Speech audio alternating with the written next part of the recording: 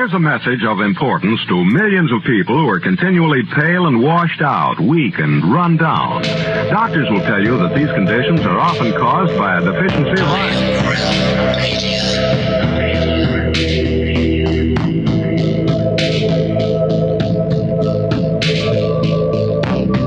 The iron you need to keep you physically fit and mentally alert.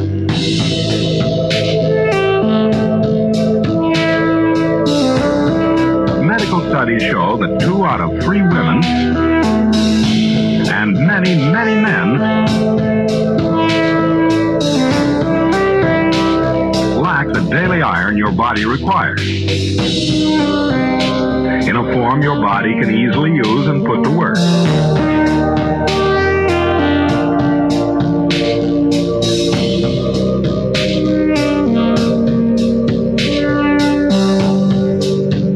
Dose gives you more than your daily minimum iron requirement. We are we are awake, we are not alone. We are striving for more. So if you're not getting the iron your body needs, We are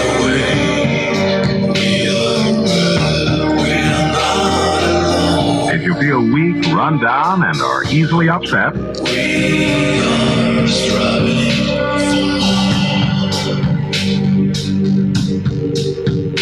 start taking today.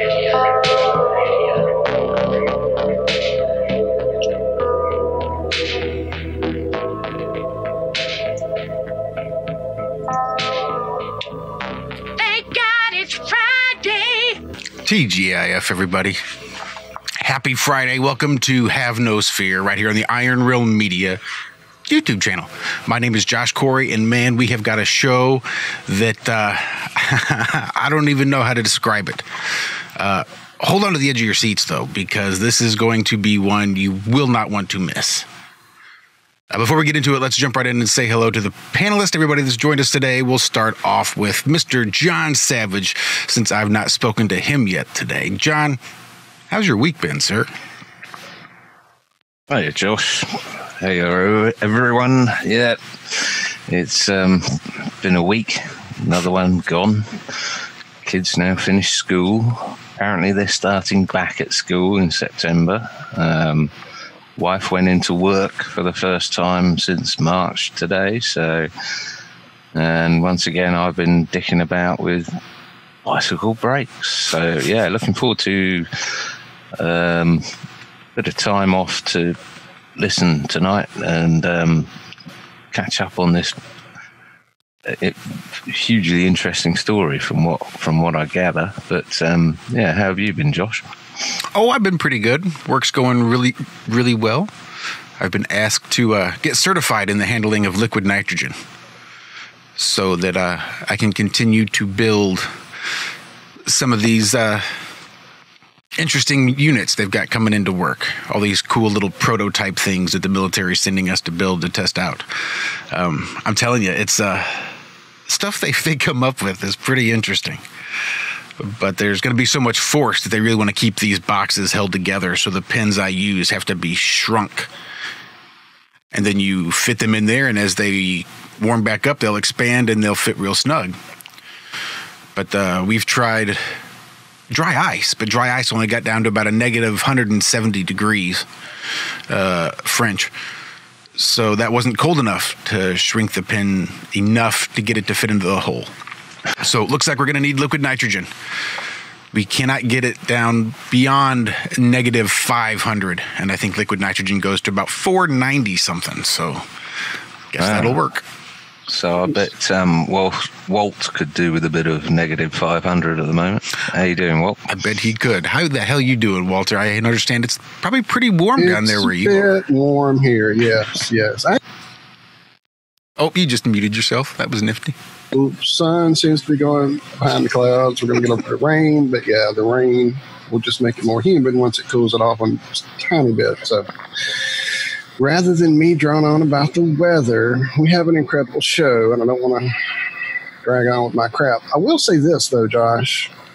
Jerry warned us in emails that we might have electronic issues today with trying to present this information because in the past he's had issues with presenting this information. I took it took me like five restarts of the app. Just I saw us live, but there was still no show streaming on YouTube for like the first minute and a half. So I finally see Baldini and everybody's in there, and it's starting to get right. But there was something going on at the beginning for sure that wasn't kosher.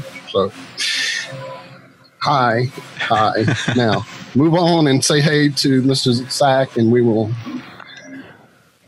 get to our guest. Okay, let's do that. Without much further ado, let's say hello to Mr. Zachary Zabala, Z squared, or you may know him right here on YouTube as Good Times for All, spelled G U D T I M S, the number four A double L. Zach, how's your week been? I understand you got some exciting things for us this evening. Yeah, it's been fun. Um, found out that Maxwell's equations are somewhat fraudulent, which really put my mind at ease because I've been trying to figure out how certain things were working, and yeah, it's all better now. But um, no, yeah, I've started freezing magnets via Ken Wheeler, Theoria Apophasis here on YouTube. Make some beautiful designs with these magnets suspended in water. It creates this egg shape around it that freezes slower than the rest of it. It's just gorgeous. And I've got one I'm ready to open here sometime during the show. We'll see how it goes. It might be at the end. I don't know. I'm I've been waiting. It's been like Christmas for the last 48 hours. I've been waiting to open this thing to see what happens and I did a few of them already. Got a crazy result where I got water to flash freeze and a two inch spire sticking up out of the the cup. Yeah, just insane stuff. Um, something I probably will never be able to recreate again. Did you get photos of that, Zach? Yeah, yeah, I did. I actually put them on a uh, a thing for tonight's show, showing how I was gonna.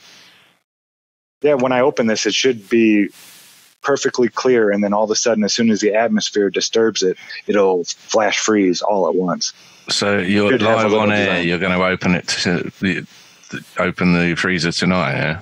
Yeah, Okay. Yeah, we can do that. Sounds good. but I am really excited for our guests, so we will definitely postpone that till probably the end. Um, yeah, this is going to be awesome. I'm really excited. So yeah, I'm let's get rolling. Let's get rolling. Well, just because I'm a lazy host, I'm going to do this the easy way right here. Jerry Marzinsky. Prior to retirement, Jerry was a licensed psychotherapist. He has over 35 years of experience working with schizophrenic and other psychiatric patients in state hospitals, state prisons, and hospital emergency rooms. Jerry's formal academic training comprises of a BA in psychology from Temple University, a master's degree in counseling from the University of Georgia, and two years of study in a PhD psychology program. He held the position of a second lieutenant in the Arizona Civil Air Patrol and the assistant scout master. He's a licensed commercial pilot and a certified scuba diver since 1972. In his spare time, he flies glider planes and enjoys cross country motorcycle trips with his friends. He's an avid explorer of nature, non physical phenomena, and spiritual development. He enjoys travel, hiking, camping, welding, writing, shooting, gardening, and DIY projects. Ladies and gentlemen, the John Constantine of paranoid schizophrenic, the Eliot Ness of the psychiatric medical mafia, Mr. Jerry Marzinsky. Jerry, thank you so much for hanging out with us this evening. It's a pleasure to have you, and I am so looking forward to what you have to share with us this evening. It's it's interesting you guys have uh, such a technical background because I usually usually you're blessed with one or the other and not both. my my uh, co-author Sherry is like that. She's a um, civil engineer, but yet she's she's one of the most spiritually advanced people I know at the same time, which is a real odd combination. So she's got her foot in both worlds. I'm not as mathematically and I love science, but I hate math. Probably would have been an electrical engineer if I knew math, or if I was good with math, but I always hated math. Um, but it, that kind of pushed me over, way over to the small part of the normal curve. Uh, and the best combination between the two was psychology, which was supposed to be some science and some math, and the only real science to it was um, experimental psychology. But what I learned in college and graduate school never prepared me for the front lines um, and what was happening there. That's, So after I finished, finished graduate school, I mean, even before I got there, what I hated about psychology is, except for experimental, there was no way to check out what they were saying. Here's these books and books and books saying all this stuff, but you, you didn't have access to a clinical population. I didn't have access to a clinical population until I, I was in the master's uh, program, and even then it was it was very limited. So you have So to the- take it on faith, you have to much. take it on faith. And, and the way I was raised is I, I don't trust authorities as far as I can throw And I had that hammered into my head by incident after incident after incident. So it, it really bothered me in undergraduate psych where I couldn't see what was going on. I had to take their word for it. And then you, you look in the back of the book, and here's this guy, and here's his whole list of professors. And, and this guy got the information from this guy, who got it from this guy, who got it from this guy, who got it from this guy, and, and very few of them were on the out on the front lines. You know, they were they were academics. And later, I found out that 90% of what psychology publishes is not replicable. and that's across the entire spectrum of, of academic psych. And one of their rules is publish or perish. So they would just publish all kinds of crap. Know, just anything that they, they would they could get published, they would publish it. And somebody tried to replicate it, no, no way. They, they couldn't because it was garbage. Uh, and I, I learned that uh, when I was in the PhD program. It, it was, you know, they wanted you to do a research program, and, and the fellow I was working for, the professor I was working for, he, he said, "Well, don't you don't need to do anything novel or new. Just just repeat this this same uh, experiment, and then just cast your vote among all the others, either yay or nay. So that's all you got to do. Just get it published." Like, what? What? And, and there was another time that this was real telling, where um, I was a graduate assistant and running uh, a group with master's level students. And the professor I was working for one day decided, you know, well, I want to come in and see what you're doing. So I thought, fine, come on in. We came in, and, and one student asked me a question I didn't know the answer to. And so I just said, well, I, I don't know. I don't know what to tell you there. I don't have an answer. I don't know that. And uh, after the group, the professor said, I want to see you right now. You come to my come down to my office right now. Like, what, did I do? And I kind of walk down there with him and sit down. And he looks at me and goes, Don't you ever tell a student you don't know the answer to a question again. And I'm like, What? You know, my, my head just What are you talking about? I didn't know the answer. I told him the truth. Well, you just tell him you'll find out and then go find something. You find out. You know, you know, so the perception of it was very important that they taught the perception how, how you are perceived. Because it, it was like a game. It, it, it's like it's more important how you're perceived than the truth. Yeah, so that was my first my first warning there. But as you know as i was going through undergraduate school uh, when i hit abnormal psychology i just lit up i mean it was like wow why is this happening to these people? What's going on with them? What is this mental illness? Why why are they so so crazy and uncontrollable? What, you know, and it was like, and then you'd go through, and this happened to everybody. You know, well, I see that in me, and yeah, I see that in me too, and that, and everybody had all these mental illnesses that they had listed there. You know, you could see aspects in it, everybody who was taking the course. But as, as we went further, I remember there was one time where they assigned us to read a research article done by a psychologist. And, and this was before I had any clinical experience at all. Uh, and the article basically said if, if two crazy people with the same delusion ran into each other, one of them would have to change their delusion to something else. And I'm like, well, why would they have to do that? They're they're two crazy nuts, and why would one of them have to logically change so the other one could be whatever he was, and then that other guy changed to something else? Just didn't make any sense. And so there was no way for me to verify it. So I just logged it in. I mean, it was something I never forgot. I'm, I'm kind of thinking, well, one day I'll be able to check this out. So fast forward maybe, let me see, what would it be? Probably another seven years, maybe five, seven years. I was on, uh, I was doing rounds on one of the psych units at Central State Hospital, which at that time was the largest psychiatric hospital on the planet. When I got there, I think there were like 12,000 patients, down from about 26,000. Uh, it, it was a, an ocean of insanity. I mean, just every mental illness that you could possibly imagine was there. And I was an adrenaline junkie. And for me, with a, a burning interest in Abnormal Psych, that was like a candy store. I mean, I was like loose in a candy store. And I had no idea what was going on, but it was, a, you know, I was bent on finding out. So uh, one day I ran into this one fella. And I was I was on the second floor of the psych unit, and a new patient appeared. He was walking around talking to himself. I could hear he's carrying on a conversation. It was like uh, listening into one side of a telephone conversation. You could hear what he said, but you couldn't hear the voice that he was responding to. And he's walking around carrying this conversation and arguing with whatever it was he was hearing. And I crept up behind him, and, and you could actually hear. It wasn't word salad. It wasn't. It did. It, it, it wasn't just random words. There, there was actually a conversation flowing between him and whatever he was talking to.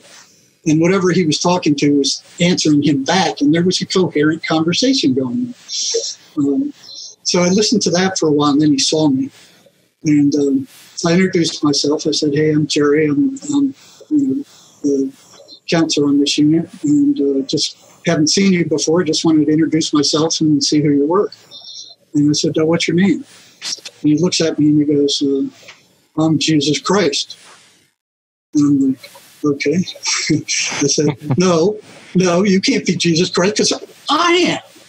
You know, and I stood there and I go, Okay, let's see what happens here. You know, let me see if what that professor wrote was, was correct. And he, he's puzzled and he's kind of looking around and like thinking and he's going, and then he looks up at me and goes, uh, okay, we can both be Jesus Christ. And then he turns around and walks off. nice. Okay, that's number one. What else they lied to me about?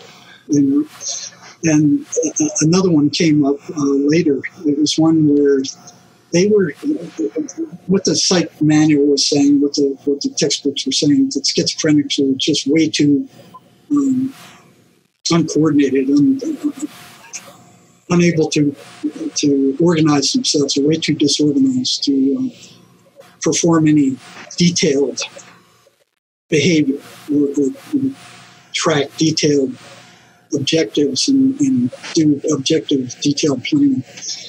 And uh, from the schizophrenics I saw at that time, up to that time, that was that was pretty true. You know, if they're in the state hospital, they weren't doing that.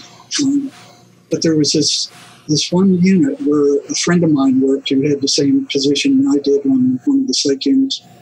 Um, I went over to visit him one day, and and they, they didn't have the best psychiatrist at the state hospital.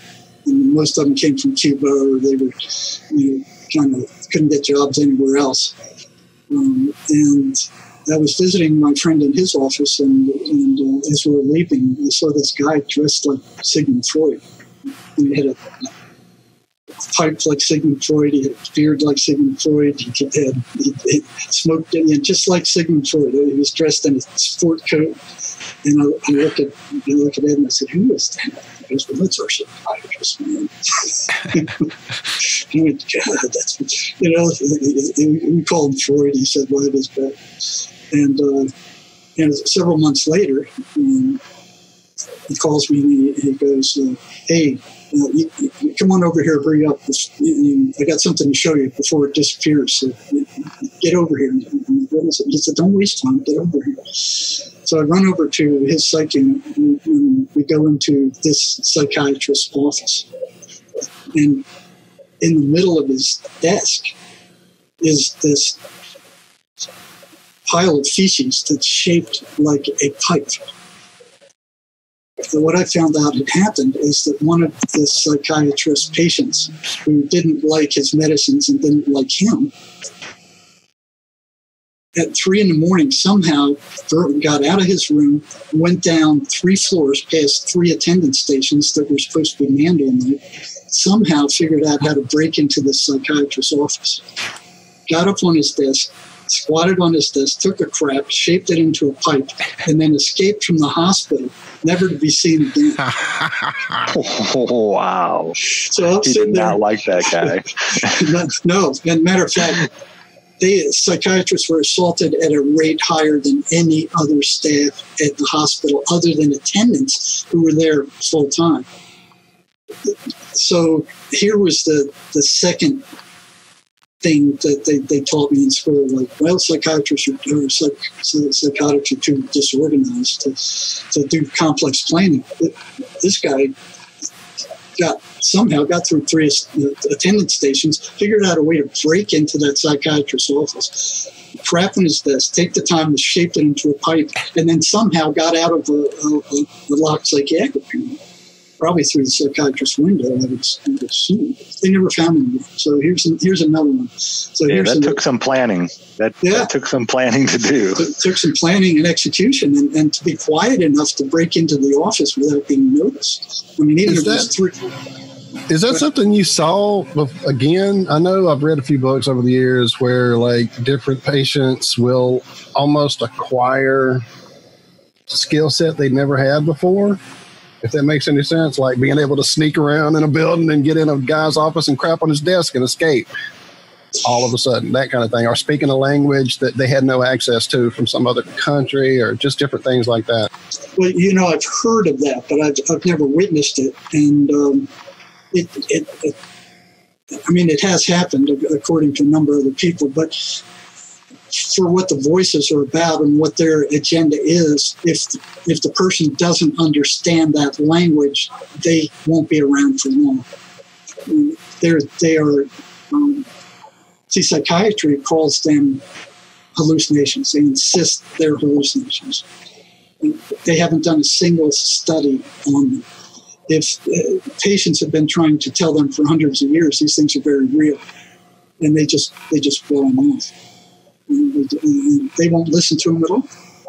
Wouldn't a halluc- if it was hallucinogenic, that would require some type of chemical Yeah, in the but these- body, and well- it should be able to be tracked, right? Like, okay, these people that are having this have a high content of this being produced from this certain area or gland, or Yeah, they haven't they haven't been able to find anything.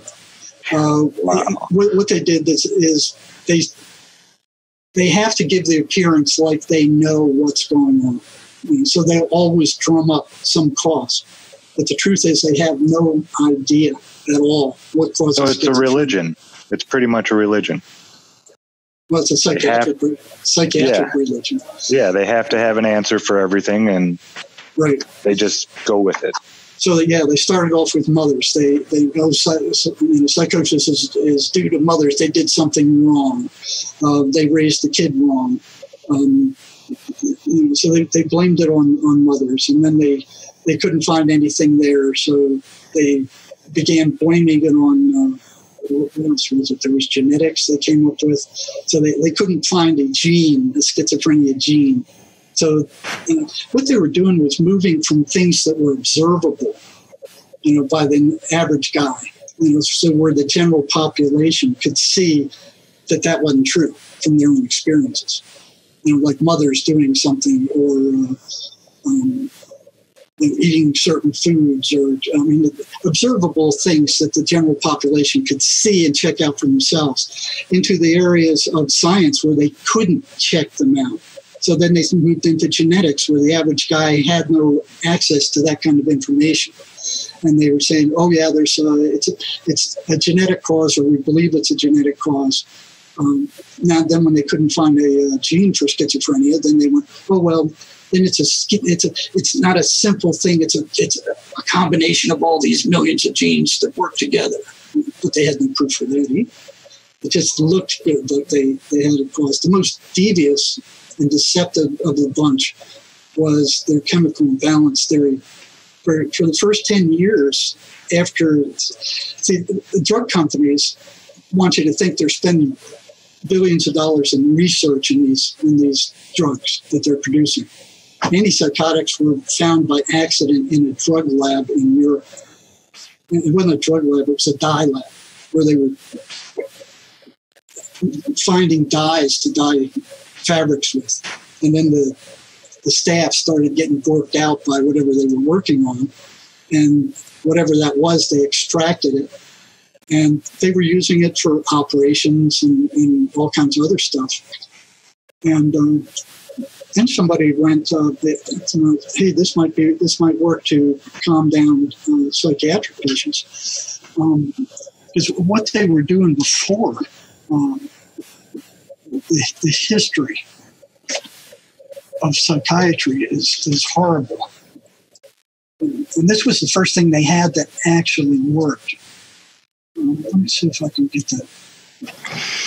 Jerry, my my dad was a psychiatrist, and from what I can gather, they they gave him a book every year or every few years that you basically look up the symptoms and it tells you which petroleum based pharmaceutical to try them on. And from what I can tell from personal, not personal experience, but personal family experience, that that's exactly the same as today. They, they, I mean, they're even prescribing lithium, which seems to have gone through the roof recently. But is it is it still the same same way? You you're given this book, and it's is it the DM?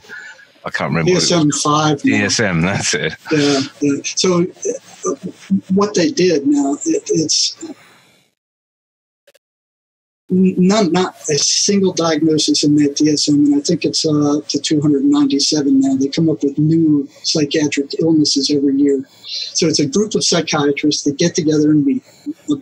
What I've heard is three quarters of them are tied up with the pharmaceutical industry. So they make up these diagnoses, they put down these symptoms, and then the pharmaceutical industry follows up with all these chemicals saying they treat those symptoms. And they put it out and they advertise it, and then six months later, you see, you know, the lawyers on TV saying, "Oh yeah, if any of you who've tried these things and are sick from them, um, you know, join this class action lawsuit. We're going to sue, you know, one of the drug companies." But the first ones to come up with that uh, that idea that, that mental illness was a chemical imbalance in the brain was Eli Lilly back in the 70s when they came out with Prozac. So they knew at the time that there was no evidence that Prozac fixed any kind of chemical imbalance. Matter of fact, they had no way to measure any kind of chemical imbalance in the patient's brain. They just went, well, this is a chemical. For the first 10 years after any psychotic drugs came out, major tranquilizers, they had no idea why they worked. So they were brought over from Europe Prozac. Prozac was, is as an antidepressant. And it's basically fluoride, isn't it, or a derivative of fluoride. Um, a friend of mine was on it because he was depressed, and he read the insert, and it said may cause depression, and may cause suicidal tendencies, and this, that, and the other, and it was like. What the hell are they putting you on that for? I mean, it's just utter madness, isn't it? It's like chemotherapy for cancer. It's just utter madness. Well, j- just on antipsychotics alone, they're making $3.7 billion a year. And these things don't cure anything. It doesn't cure anything. It merely suppresses psychotic symptoms. It doesn't get rid of the voices. It doesn't cure anything. And it's super expensive. Or So- exacerbates the symptoms. I was about to ask, doesn't it sometimes make the symptoms worse? That's why they keep playing the switch game on, oh, well, let's try this and let's try that. Now, during your uh, studies, did they ever teach you what they did before all this stuff was out there? Oh, yeah. I've heard Yeah, I can tell you what they did before they did out there. You know, that started off back in uh, ancient Egypt, where they started drilling holes in the in the head of these guys to let out evil spirits. But it, it worked sometime when there was pressure on the brain. It, it you know occasionally worked, but it, where it all started was in 375 BC with Hippocrates, where he came up basically saying there's a physical cause for all illnesses and, and he followed that that path, and and he, you know, there's germs and you know, boil the water and that kind of stuff, and it it looked pretty solid. So doctors based their philosophy on hypotheses. So. Uh, we're back in uh, that that drilling of the hole in the head. Uh, you know, that was they were drilling holes in the head in, in, in four, 1488 um, AD. They were drilling holes in, in the head. In 17, 1790, they came up. A French upholsterer came out with the straitjacket. So basically, what they were doing is they had insane asylums, and they needed some way to control these massive populations of insane people because it's like a zoo in there. Before before drugs came out, I was talking to attendants where they had these major battles with psychiatric patients, and people got hurt. They got seriously hurt. The attendants got hurt. The patients got hurt. Um, Jerry, I, I'm hearing uh, currently that you know they're rewriting all the mental health laws here in the UK and everything. Well, they're starting to bolster them, um, and th- the general sort of gist in the mainstream is that if you refuse vaccines or if you go against the uh, WHO or you know if you're one of these people that won't wear a mask then and it's now been reduced to one person one so-called qualified person can label you mentally ill and section you. Um, is there? Do you think, in back in history, there was? Do you think there was a reason why there were so many mental uh, uh, asylums and some of these things that we've been looking at in the mud flood era and the Tartarian sort of archaeology and that sort of thing? That these things were absolutely enormous, Massive. and they were in the middle of Poland, and and you know there was only three million population, and you know there's like ten percent of the population were were condemned into asylums. Um, do you think maybe these people weren't mad? They were just sort of rebelling against what sort of tyranny was being pushed upon them at that point, but they were just, you know, thrown into these buildings and, and declared mad? Ah, Oh, bollocks. we lost him. Uh oh, did they get him? I was trying to go say hey to chat for a second because I've been ignoring it completely because I'm so wrapped up in Jerry. Damn it. He Just said like that, that. we would have problems. He prophesized that we would most likely have electronic interference trying to get this information out. That almost every show he's done, something along these lines have happened. Let me, uh, hang on, I have his information. You guys cover and I'll get with him. Well, we anyone haven't else, even really touched on the good stuff yet. Anyone else got any thoughts on that about why these uh, No, not you know, until this moment, John. When you said it, it was like no shit. Because I was going to ask him when he talked about how big the place was when he got to it. That at that time it was the biggest one. I'm like, yeah, but I saw it in that video. There were bigger ones back in the day, and I was going to get into the mud flood where you went. So, but I didn't want to sidetrack him at all because I knew we would have to get to the goodies in a minute. Let me go get him back on. Hang on. Okay, well, hang on. Didn't mean y'all be quiet. nope. We're just gonna wait for you, up. Walt. Yep. Hurry up. No, it's just fascinating. He he's scubas. He goes down into the water, you know.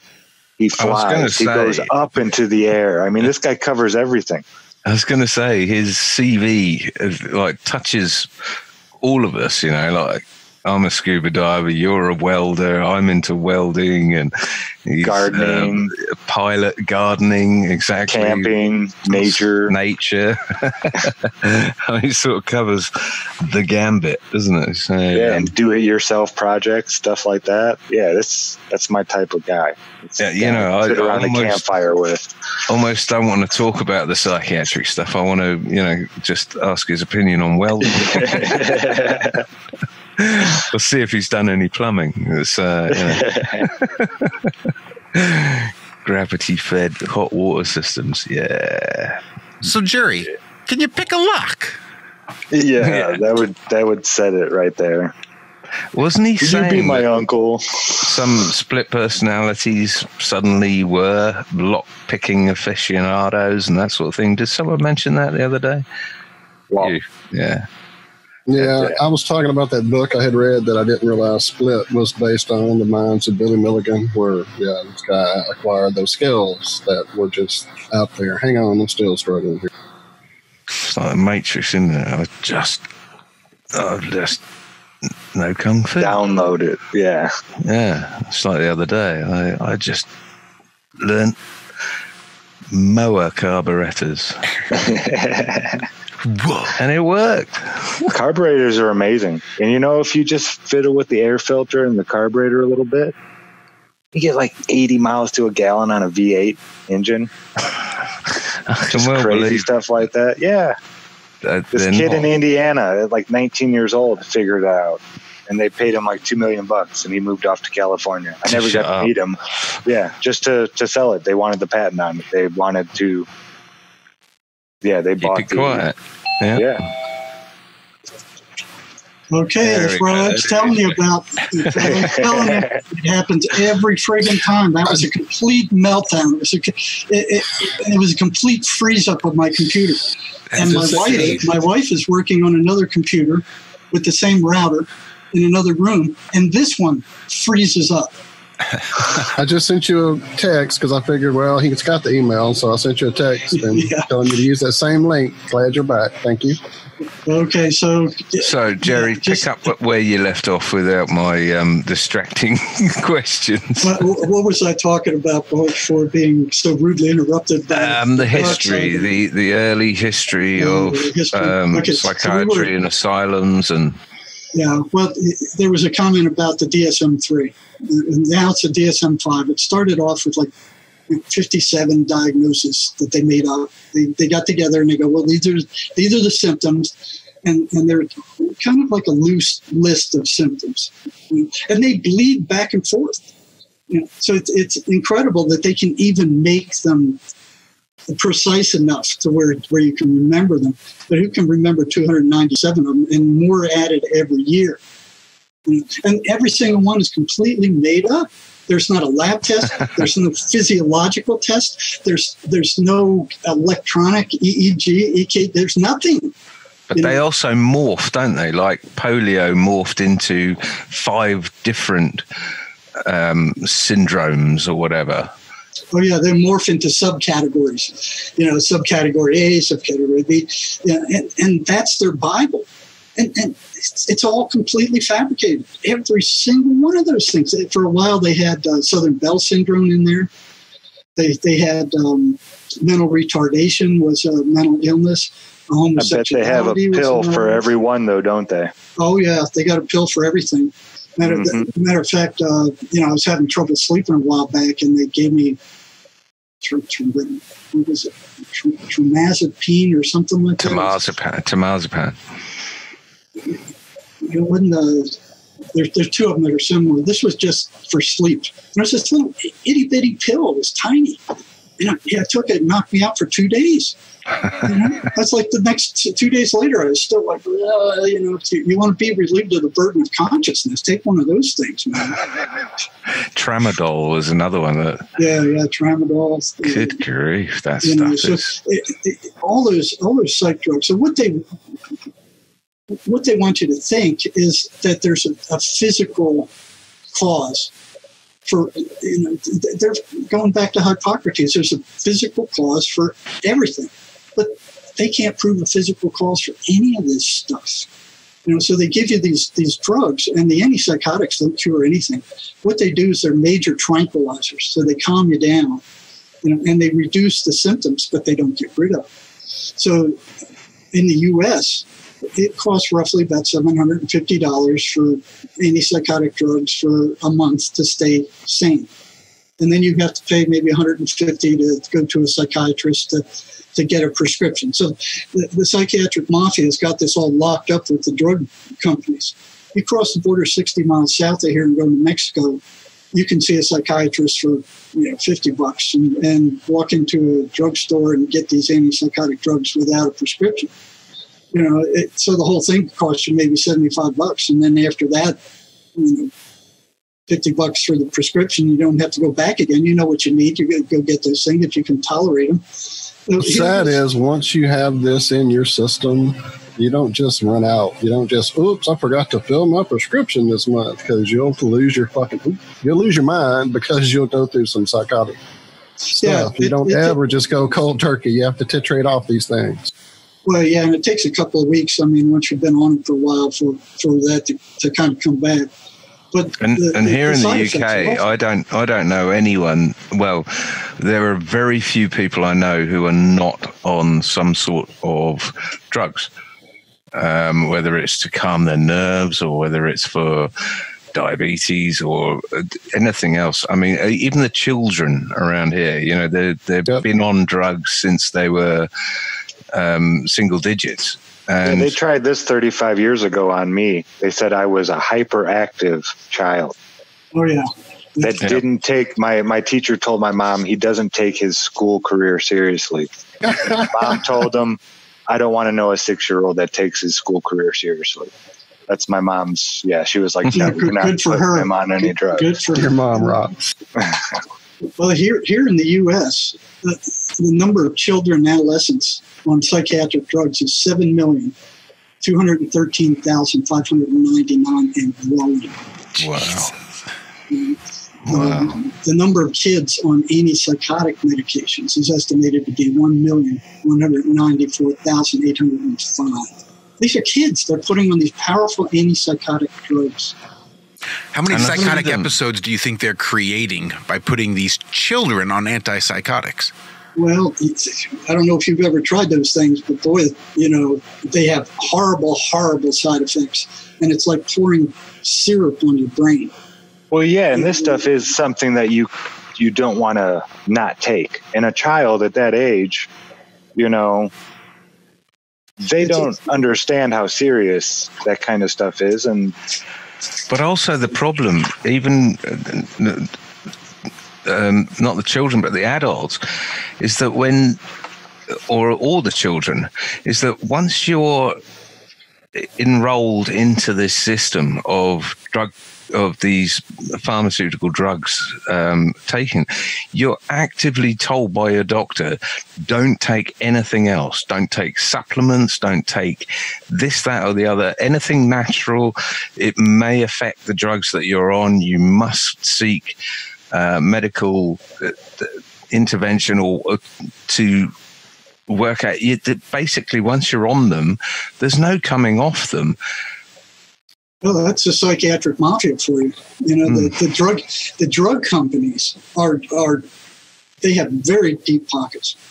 So they were they were the ones that came up in uh, in the United States back in the 1930s. They came up with something called the Flexner Report. So basically, Mhm. you know, they, these multimillionaires at the time, the guy from Standard Oil and, and these big big guys with lots of money basically were saying, okay, medical schools, if you want to graduate people with licenses, you must teach pharmaceutically based medicine and nothing else. So here's the drug companies already pushing in there.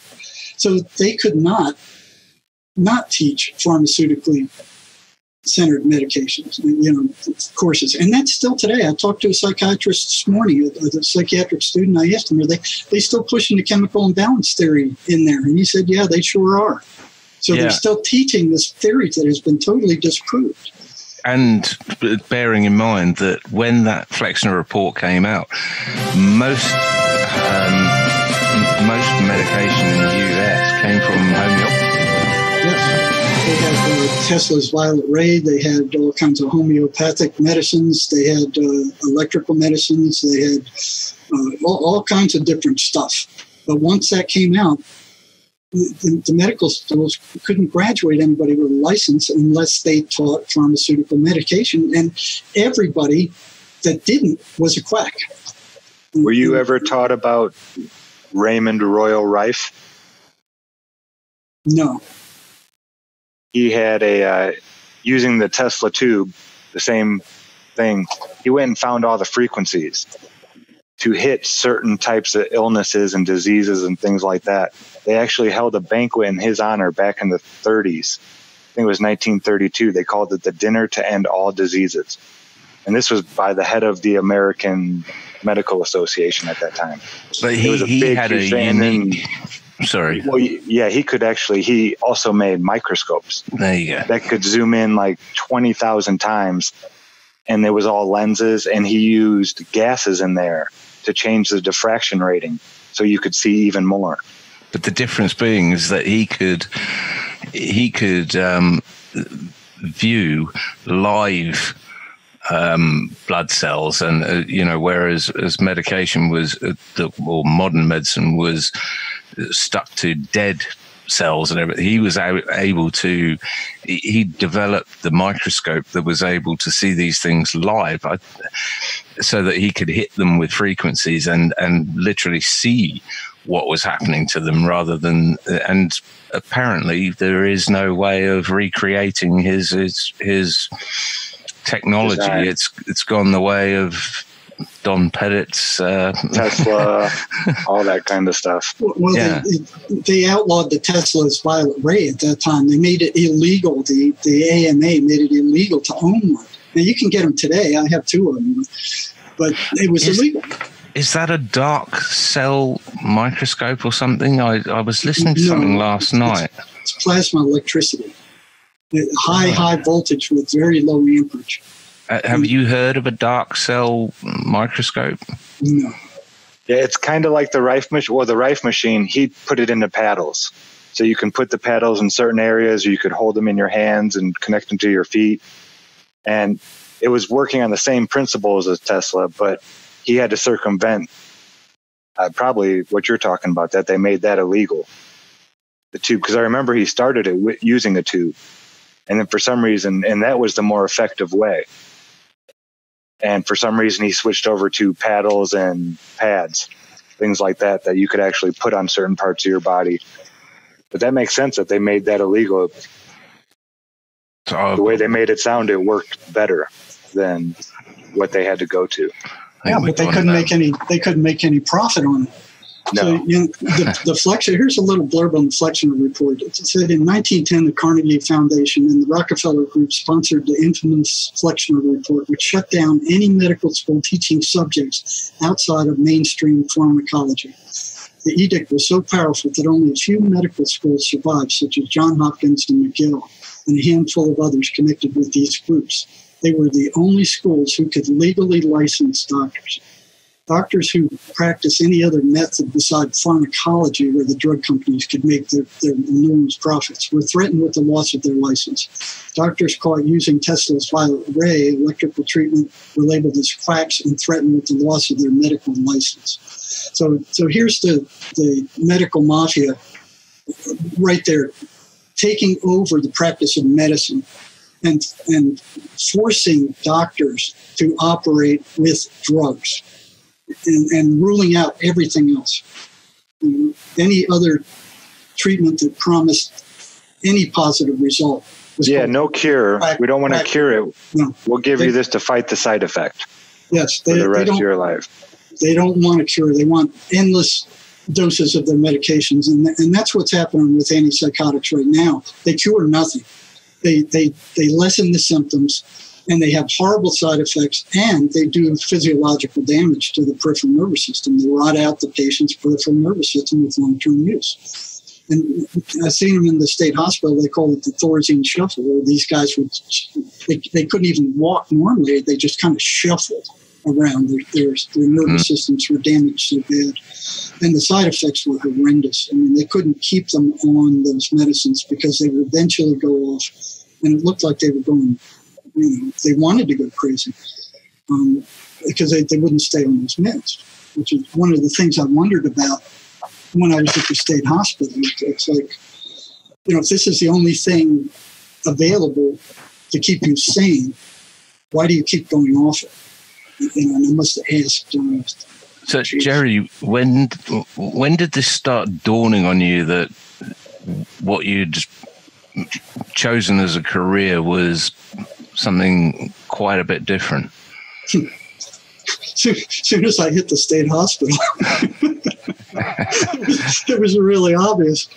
but you had to obviously keep quiet. I mean, did you did you confide in colleagues and things like that? And Uh, no, no, I couldn't. So, and that was one of the things that was really bad. Um, you know, it it started out with, you know, you, get thrown into the sea of insanity, and here's these.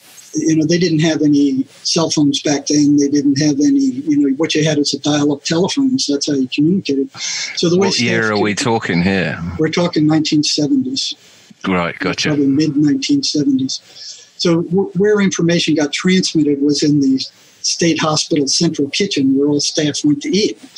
Uh, central State Hospital was in central Georgia, and back then it was like a, a little island of, of humanity. They didn't even have a McDonald's or a department store or anything there at the time I was there. There was one mom and pop uh, restaurant. Uh, you had to drive 30 miles to Macon to get a hamburger. Uh, so it was pretty isolated there. Um, they sweetened the pot some by giving you staff dorms uh, that fifteen dollars a month with maid service. So it was like a hotel room, it was good to pay off the loans. Um, but you know, I, I started looking around, and here's psychotics doing crazy things, real crazy, dangerous, sickening, you know, just awful things. And I'm like, what? Why? And, and it, it just went right in the face of, you know, um, call experimental psychology, where, where they taught that you know, all life forms will seek pleasure and avoid pain. But that's not what these patients were doing. And they were they were looked like they were seeking to uh, pain. They were seeking to self sabotage themselves. Um, anytime they came close to succeeding at anything, they they do something screwed up. And then you had the more regressed ones. I remember one uh, who cut off his penis.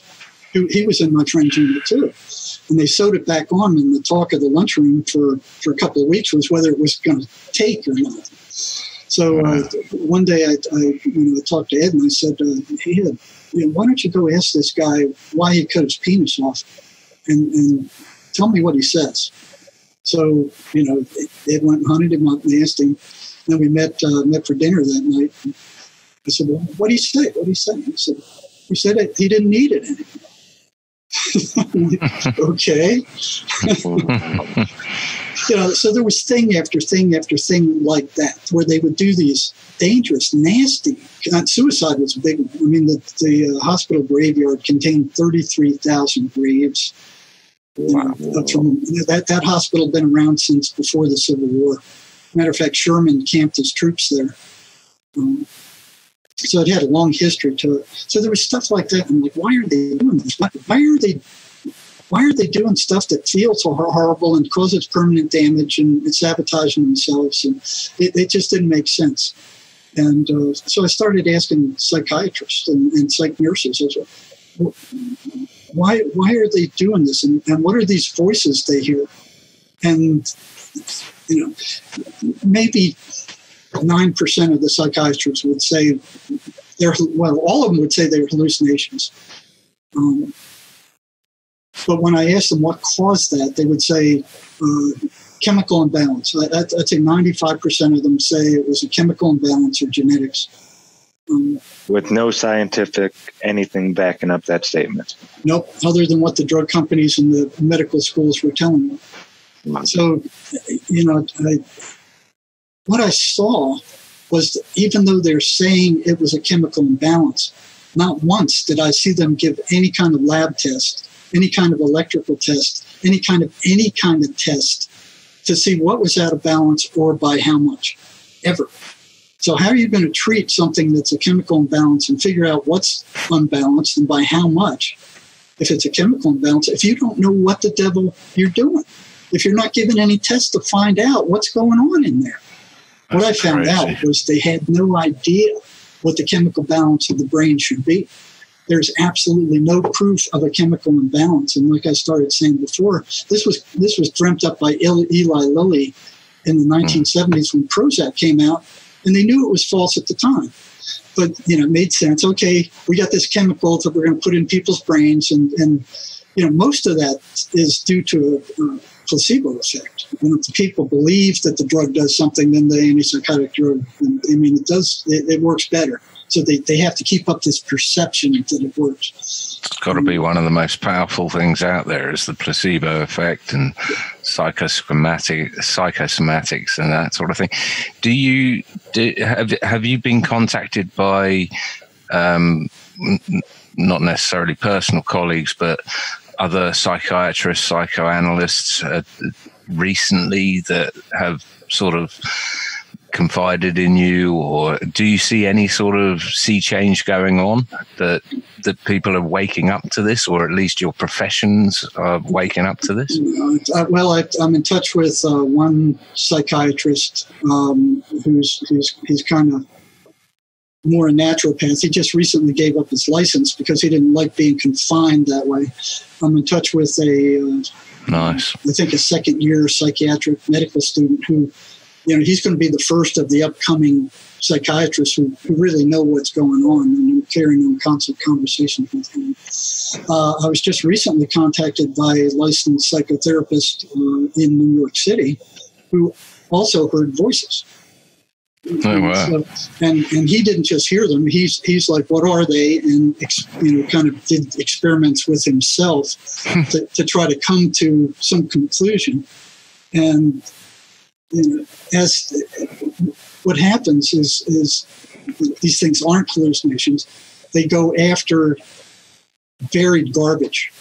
Okay, so if you have trauma, if you have your negative thinking, um, you know, they can smell negative emotional energy like sharks smell blood. Uh, they will- they will attack those people the worst, the hardest.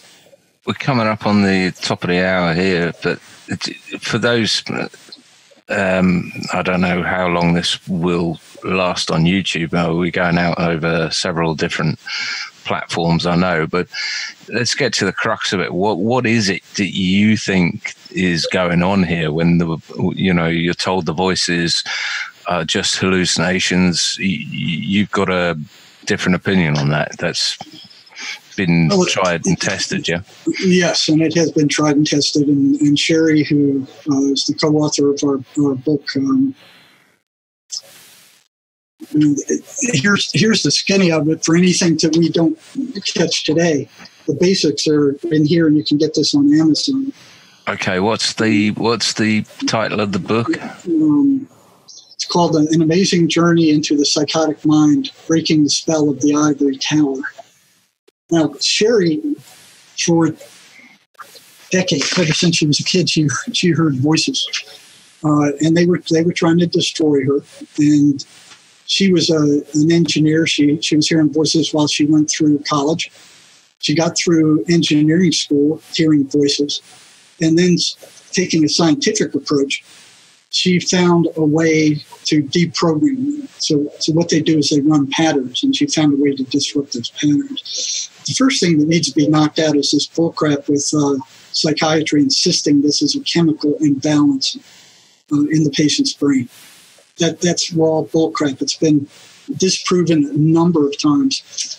Um, in, in a number of, of places. So, uh, Peter Breggin, who wrote the book Toxic Psychology, verified in 1991 that Eli Lilly started and fabricated the chemical imbalance theory as a marketing gimmick to sell their new drug Prozac. They did this despite the fact that there was no demonstrable evidence that showed depressed people had any chemical imbalance in their brains, and knowing there was no proof. Lilly ran with it to bolster the sale of their drugs. To this day, Big Pharma and Big Pharma funded medical schools continue along that line. If they don't actually teach the chemical imbalance theory as the cause, they will infer it and say it is believed. But it's been proved wrong over and over again by, by tons of studies.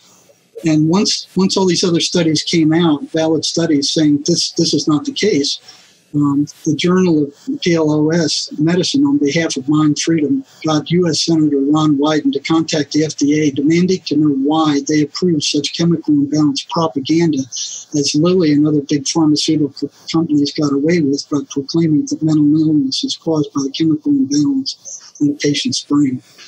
It took the FDA over a year to respond to the journal, and when it finally did, the FDA could not cite a single study or any scientific literature which in any way supported the pharmaceutical industry's claim of a chemical imbalance as a cause of mental illness. Dr. Remo Labo, psychiatrist, echoed findings of Dr. Breggin in stating that the whole myth of a chemical imbalance was created to sell drugs. So it goes on and on and on. But the chemical imbalance theory that the drug drug companies and the academic mafia are teaching medical students and psychiatric students is completely false. But they're teaching it anyway because it sells drugs. So the hmm. drug companies go to the, the universities and goes, well, we want this result. And any any research they can do to kind of make it look like there's a correlation, they'll throw that out there and, and say, yeah, there, there is a chemical imbalance in our drugs temporarily fix it or, or address it. So, So, are you that's a lie. seeing are you seeing a correlation with this at the moment with this COVID nonsense and the germ theory and uh, contagion theory? Uh, the, all these theories that w- we have scientific evidence backing up that this theory is incorrect. We can't necessarily put our finger on what is correct, whether it's terrain theory or. I mean, it just seems it's a Well, theory tell you- based on theory on a theory on a theory. I'll tell you what I am seeing. The mainstream media reminds me almost exactly of a group of voices, psychotic voices, attacking a patient. The, the theme is the same. It's to foster fear, to foster guilt, to foster Right. control. It, it, it, you know, it, you could if they weren't incarnate and coming over the, the TV screen, it would be just like a psychotic attack. Hmm. With the voices saying, "Oh, you're going to die. You, you know, be afraid. You need to watch yourself. You know, get all this paranoia stuff. You know, stay away from people." And that's one thing these voices do. They break people up. They don't want them to be close. They break up families. They they break up marriages. They they tell uh, husbands that their wives are cheating on them and vice versa, and that they can't trust anybody. And, and you know. And that's been media from the very beginning, That's basically. It's just fear mongering, suspicion breeding, yes. every, everything about them is i mean it's like that film isn't it They Live i don't know if you've seen that where he puts the glasses on and he can see a bay and, and this that and the other it's, it's all and and to someone who's been trained in in the psychology side of things that that sort of pressure to put a human under that sort of pressure uh, is going to cause what? I mean, you, constant fear, constant suspicion. What, what does that? What's that going to do to the human psyche or, or in general? Well, what I discovered maybe years later, and this was after I left uh, the state hospital, where I learned the most about these things was in working in the psychology department of the state prison. Because the problem I ran into in the state hospital was that they didn't want you to do. I mean, psychiatry. I, I mentioned earlier that psychiatrists were being attacked at a rate much higher than any other staff, other than attendants. That's higher than psych nurses, higher than psychologists, higher than than regular nurses, higher than anybody except attendant staff that were with psychotic patients 24 hours a day.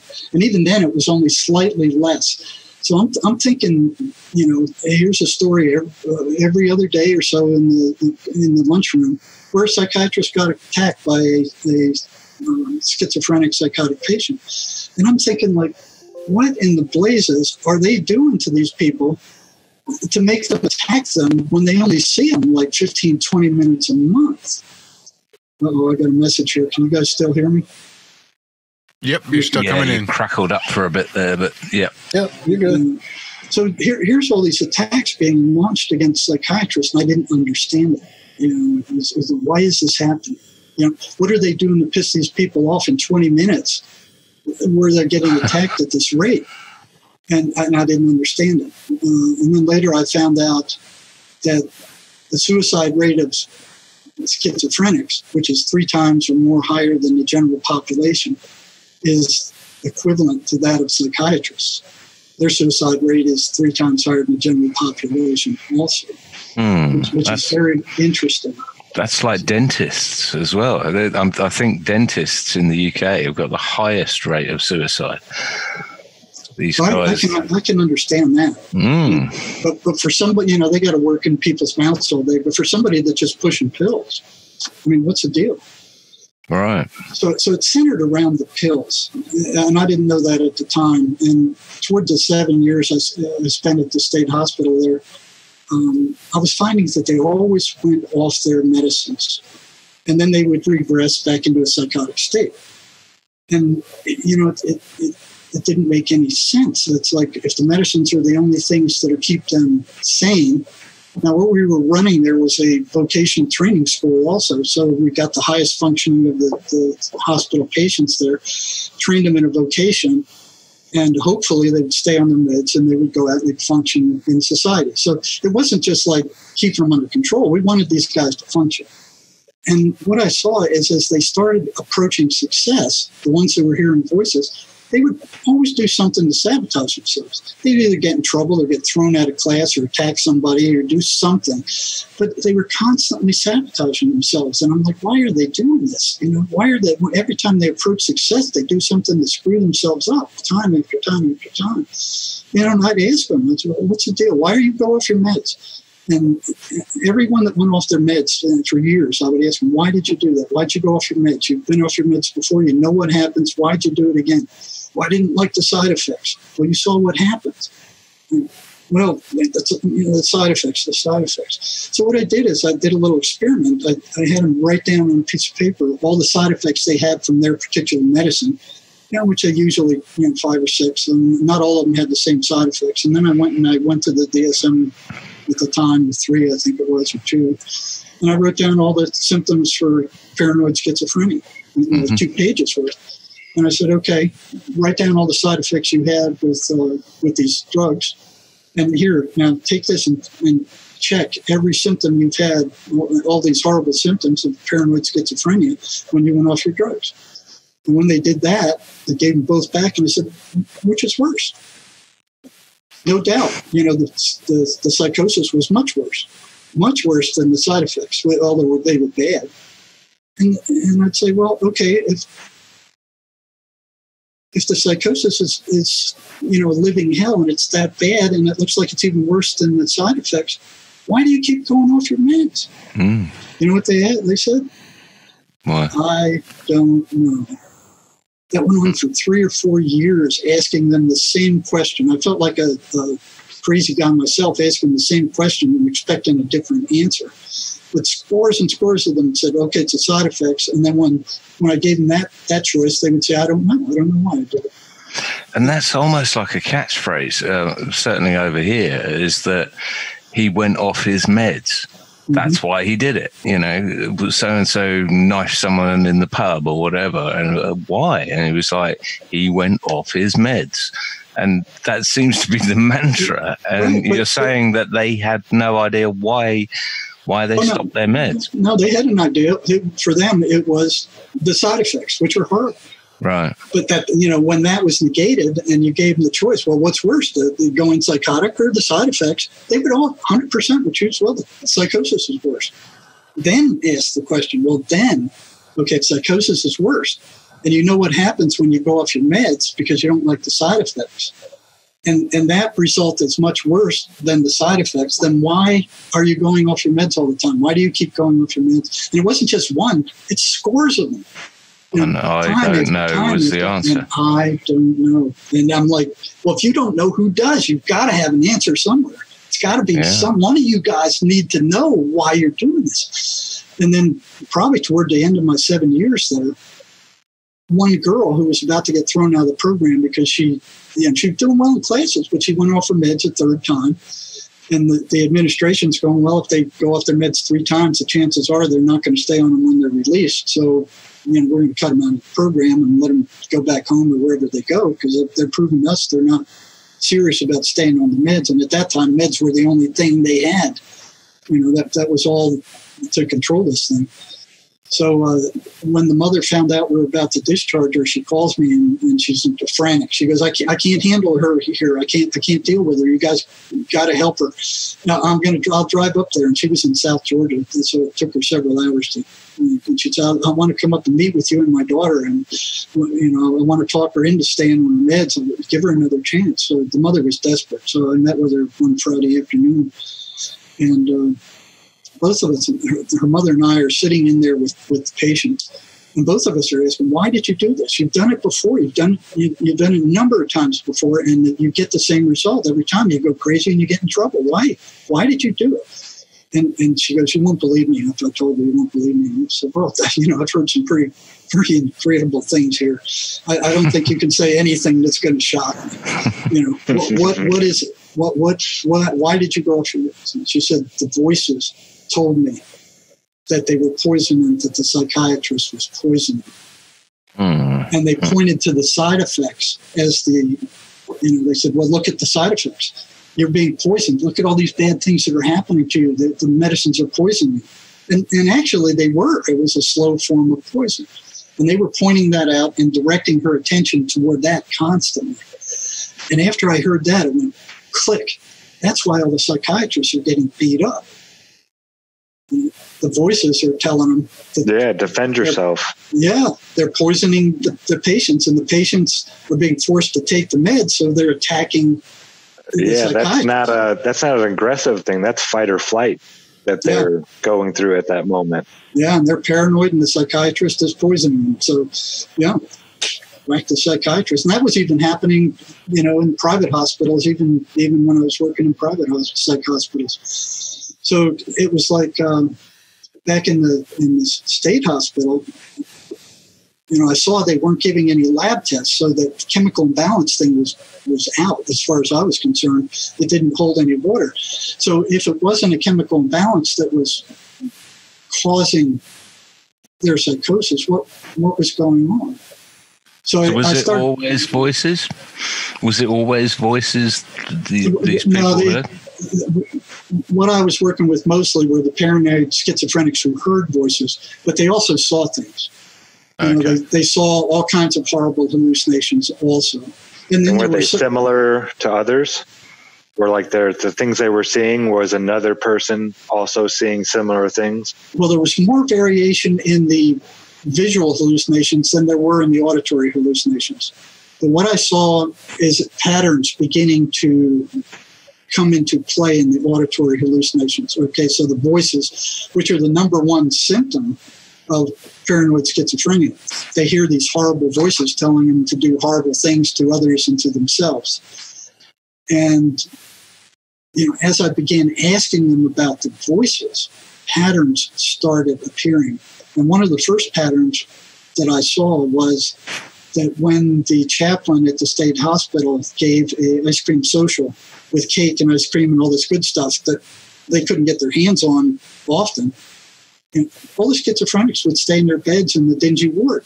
You know, and I'd walk down the ward and I'd go, why aren't you down with the other guys? I mean, it's free ice cream and cake, the chaplain. Well, I don't like chaplains. I don't believe in God. I, you know, da, da.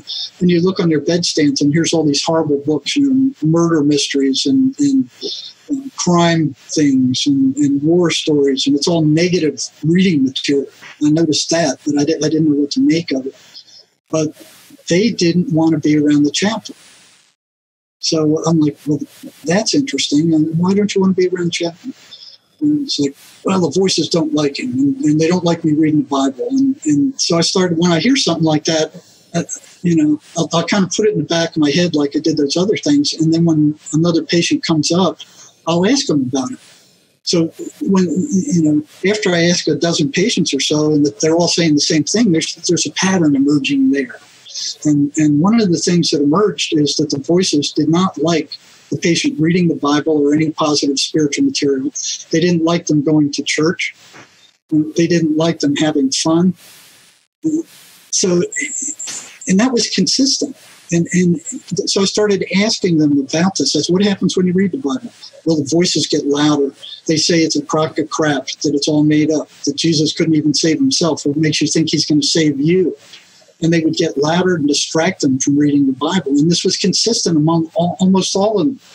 So here's this pattern forming, and I'm thinking, you know, what kind of hallucination would, would be anti-religious? I mean, why would you even expect that to happen? If they're a hallucination, they should be random like all other hallucinations. Why is there a pattern forming here? Why are why are they anti-religious? Why should they even be anti-religious? So I pushed that further, and I found there were three groups. Um, one were patients who felt they knew what the voices were, and they knew that it wasn't who they were. There was a, a middle group that weren't sure what the voices were. They, they were thinking maybe they were them, maybe they weren't, they weren't sure. And then there was a third group that believed what psychiatry was telling them, that the voices were hallucinations. They, and they were much worse off. And, and virtually none of these guys wanted to go to church. So, um, you know, I kept asking questions about the voices. And then one day, uh, I guess the voices got pissed off from one guy, and he went and told psychiatry that I was irritating him by asking him questions about his voices. Now, these guys are getting beat up by psych- psychotics all the time. And, and they were kind of leery about doing anything to upset them. So the unwritten rule was you don't do anything to upset a psychotic patient if you don't absolutely have to and asking questions about their voices was something that you didn't absolutely have to do. So I got Yeah, pulled you up. don't do it. Yeah, Yeah. that's what you were taught. you, you don't do it.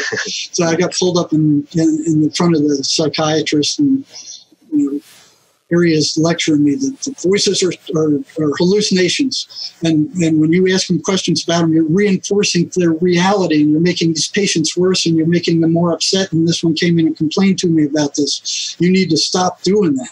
And that happened twice while I was at the state hospital. They didn't want anybody asking these guys questions about their voices. So I had to go underground because I, you know I'd already been threatened once, and then I had to be real careful of how much I asked. So I, I might only ask one pertinent question per patient a day or something. So I had to really slow it down. But the patterns were still emerging. And, and I was having to fly under the psychiatrist's radar. And, and the more That's that- what I was going to ask. Did you feel like you had to keep yourself oh, yeah. safe within your friend? I mean, your uh, your peers, not necessarily your Oh, yeah. friends. but- yeah, I, I couldn't talk. I couldn't talk to any of them about about this stuff. Uh, you know, which was a, a bad thing. It was like it was almost like um, you know I was opening the door to this strange new world, and there were consistent patterns there, but I had no roadmap. You know, I, I had no cognitive map of, of what was going on there. So, you know, I'd kind of walk in there and I'd start tripping over things and, and bad things would start happening and uh, the voices would, would start screaming at them. And um, by the time I left the state hospital, I strongly suspected that the voices were not hallucinations. Um, and, and schizophrenics were so frustrating to work with. You know, I was glad to get back to graduate school and just be away from them for a while. It's like, Well, yeah, because they're thinking you're trying to get them in trouble or trying to, you know, and then they have the voices telling them not to talk about them. well, that that was true, but I didn't know that at the time. I found that out in the prison. The voices would say, and this happened over and over. Voices would come up and go, "He, he already knows too much. Don't tell him anymore. Shut up."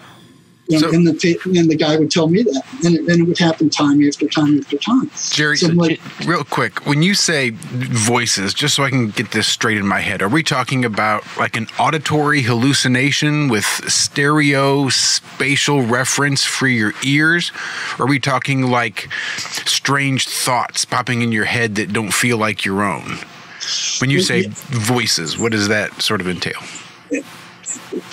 Interesting question. The, the one time I prayed to hear them, okay, and they, and they almost killed me, and that's a long story in and of itself. Geesh, But the voice, the voice I got sounded just like any of the thousands of thoughts that go through my head any day. And, but the intent was far different than anything that I could even imagine or would even react to.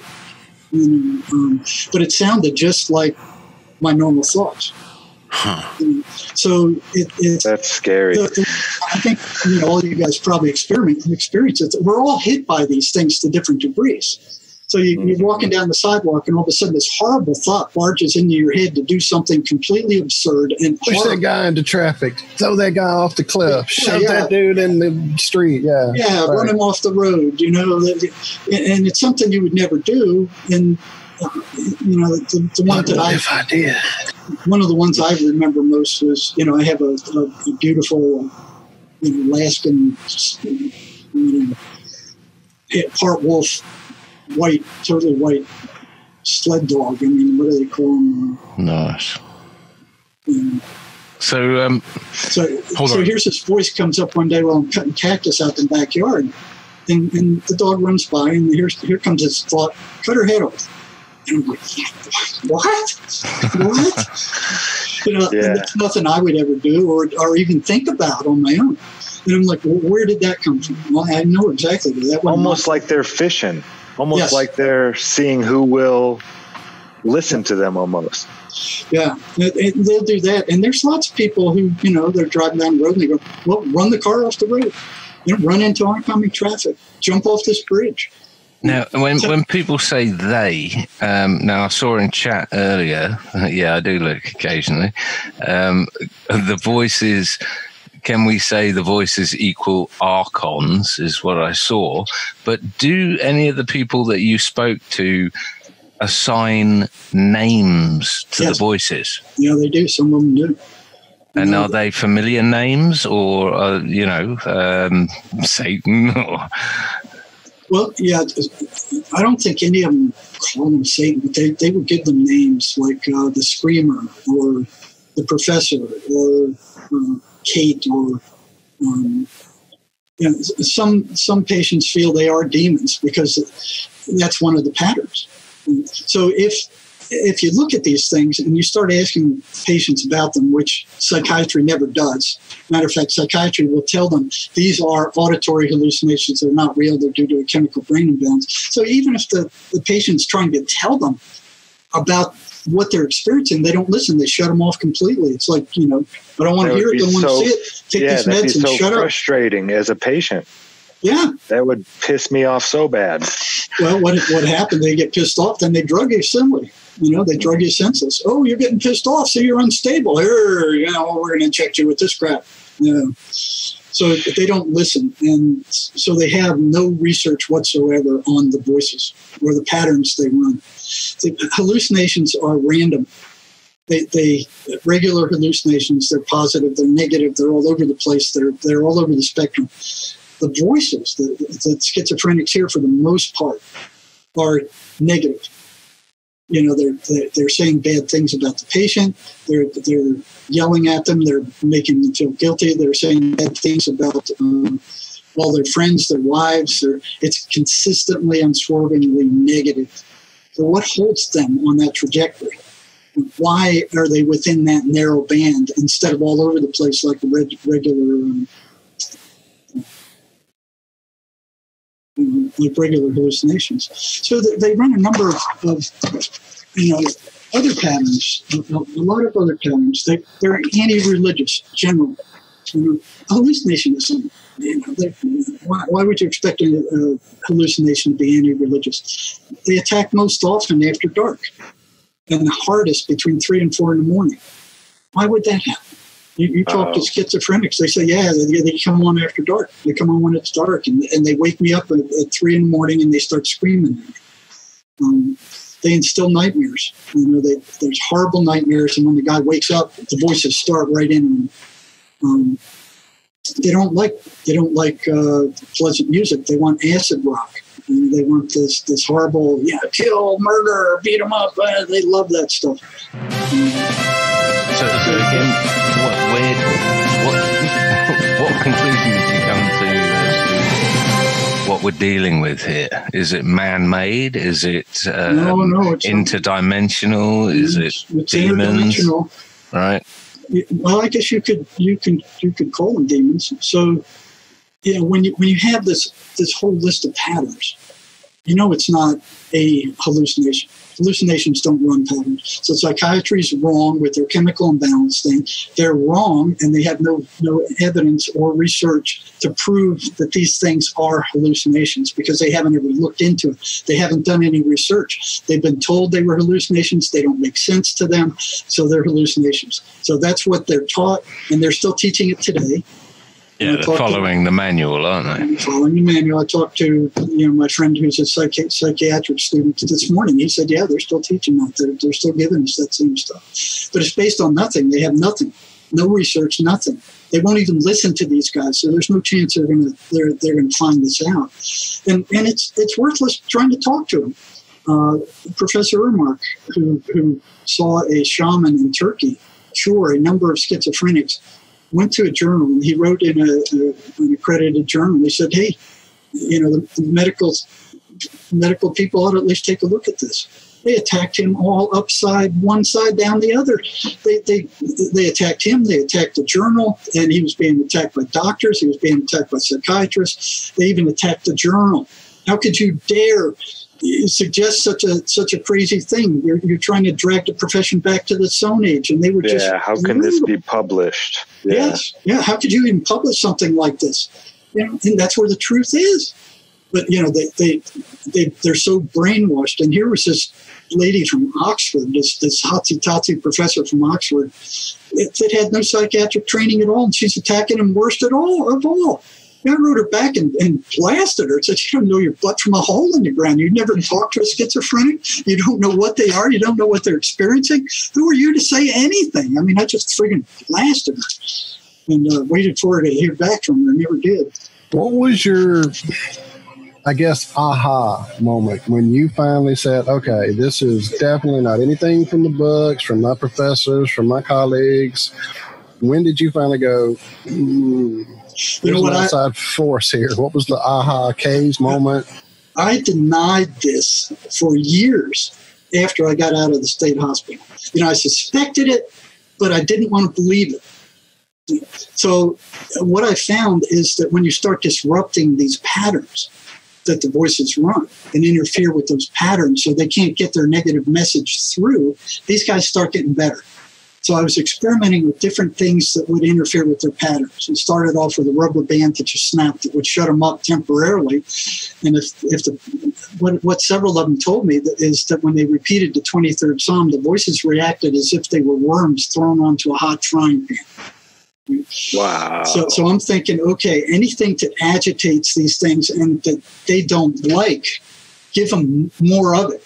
Yeah. Now, I, now I couldn't do that in the state hospital because I'd be in trouble right away.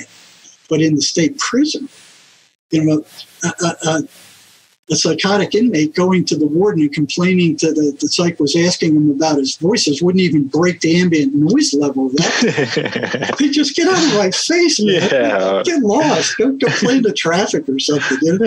So, so I had I had complete freedom. And so what I did is is when they closed down the state hospitals, they threw all these guys out on the street, and they had no way to survive except by crime. They'd steal stuff. They couldn't hold a job, and they all ended up in the state hospital or in the state prison. So here was here they were again. You know, I was surrounded by them again. So what I did there is I always had a group of schizophrenic prisoners that I worked closely with, and the agreement was that I'll help you as much as I can. I'll do everything I can for you. You know, I'll intervene with medical and what, the other stuff. I mean, I had limited powers of psych, but um, as long as you told me in real time what the voices are telling you is right in real time as we're talking. So if a voice barges in and says something while we're holding this conversation, you need to tell me what they're saying. And did your superiors know that, that Oh, you were no. doing that? no. Matter of fact, it got kind of touchy at times because they'd come in, and I remember one guy going, uh, "Yeah, this guard disrespected me. I'm going to stab him." You know, and I'm like, "Oh shit." yeah. So, so what that left was like, okay, how much can I trust this guy? How much control does he have? So it was like walking on the edge of a razor blade because if if if I missed it and this guy went and stabbed the guard and they found out that I knew that he was thinking about that and didn't turn him in, Mhm. I'd, I'd be fired. That'd be that'd be that'd be it. I'd, I'd be done. On the other hand, if that was not his real intention, and he was just saying that because he trusted me, and and he had no real motivation to do that, and I Yeah, you don't want to lose that trust. Yeah. Not only would I lose the trust of him, I'd lose the Everybody. trust of every single one there, and I'd never get it back. Mhm. So it was like dancing on the edge of a razor blade. And, and I made it clear to him. I said, you know, listen, as long as I'm convinced you're not going to hurt yourself or anybody else, I'm not going to take action against you. I'm not going to do anything to interfere with your life here. Well, the danger, yeah, if, danger if, was if I think real. otherwise, yeah, if I think otherwise, I'm I'm going to have to act. because they, they could have knifed you. yeah, yeah, and, and one one was dead. But you asked about where where I finally turned. So I was in denial for years when I hit the prison, and and as we found ways to interfere with the voices, these guys started getting better. So all of them at about the same time come in and go, the voices are really getting pissed at you. They really don't like what you're doing. They're telling me not to come here. Um, they're telling me to beat you up they they don't they're really getting pissed at you and, and here i am thinking uh, hallucination's getting pissed at me. And what why is a hallucination getting pissed at me? And they're all saying the same things and these guys didn't meet each other. I mean it wasn't like they met in a group they met one on one um, so here's here comes this flurry of yeah the voices are getting pissed at you. And then one of them who i've been working with for a good while he turns around the doorway one day and he looks at me right in the eye and he goes, You know what you're doing is dangerous, don't you? And then he turns around and walks away. And I'm like, No, I, I don't. I, I don't. I don't think it's dangerous. That, that these voices are in you. In you guys, they're not in me. They're they're stuck in you. They can't come out. You know. So I'm reassuring myself with that rationalization. Um, I was later to find out that was not the case. So um, I think the one that turned me was that same guy who gave me that warning. Um, he comes in and he goes, uh, and this was without an appointment. He knocks at my door and he, he goes, uh, The voices want to talk to you. And what? what? Yeah, they, wow. they want to tell you something. I mean, I'm looking at him, I'm like, this isn't you, this is the voices, right? And he goes, yeah, this is the voices have a message for you. And he said, well, come on in and sit down. And I sat back and I said, well, what do they have to say? And these words came out of his mouth. I'll never forget them. He said, you have no right to interfere with our way of life. And then the, the, the inmate said that that wasn't my words, that was them. They said that. That didn't come out of me. You know, that, that they said that. And and you know, I was like stunned because I knew that wasn't the, the, the guy. I mean, I, I, I, I could feel it. I knew it. I sensed it. That's where that's where I began. That that was the first time I went. Okay, these things are separate entities. They're not some part of the subconscious. Uh, they're not some part of, of the brain or the mind. They, this is a separate entity who's kind of threatening me at this point. Um, Have you, have you ever thought why they don't talk to you directly? well, they Is did. it, it? Oh, okay. They, they did later on. I would carry on conversations with them. Um, not long enough to realize that they were independent entities and they were responding independent of the patient. And, uh, you know, about that time, well, what happened afterwards is the same guy, he came in one day and, uh, so that that's where it cracked. That's that that's where my denial system started coming unglued. Was when you have no right to interfere with our way of life. I mean, I, I knew that was something other than the, the patient talking to me. So he comes in a couple of weeks later, and I didn't stop. You know, I didn't back off. I'm still thinking, well, they're stuck in them. They're they can't get me. They're they're stuck in in, in the guy. So uh, what I did is I ran into a book by Miguel Ruiz, who's a shaman, a South American shaman. He was talking about entities that um, were perceived as voices and that they sucked the individual's energy. And that's a pattern I also noticed is that after the prisoners were attacked by these voices, their energy levels dropped to zero, to nothing.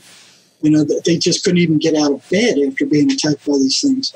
And I was thinking, uh, well, that's due to the anxiety. I mean, they're always telling them horrible things, saying they're going to kill them, they're going to stab them, that somebody's going to come and get them. I mean, they're fostering paranoia constantly. So I was thinking, well, if you're under, you know, if you're paranoid for that length of time, it's probably going to wear you out. And, and I felt that I believed that for years until one day I, I was put over the jail for the prison. So this is this is the place where the worst of the worst from the entire prison complex go. And I always seem to be assigned to the worst places, which for me, I you know, being an adrenaline junkie, I love that.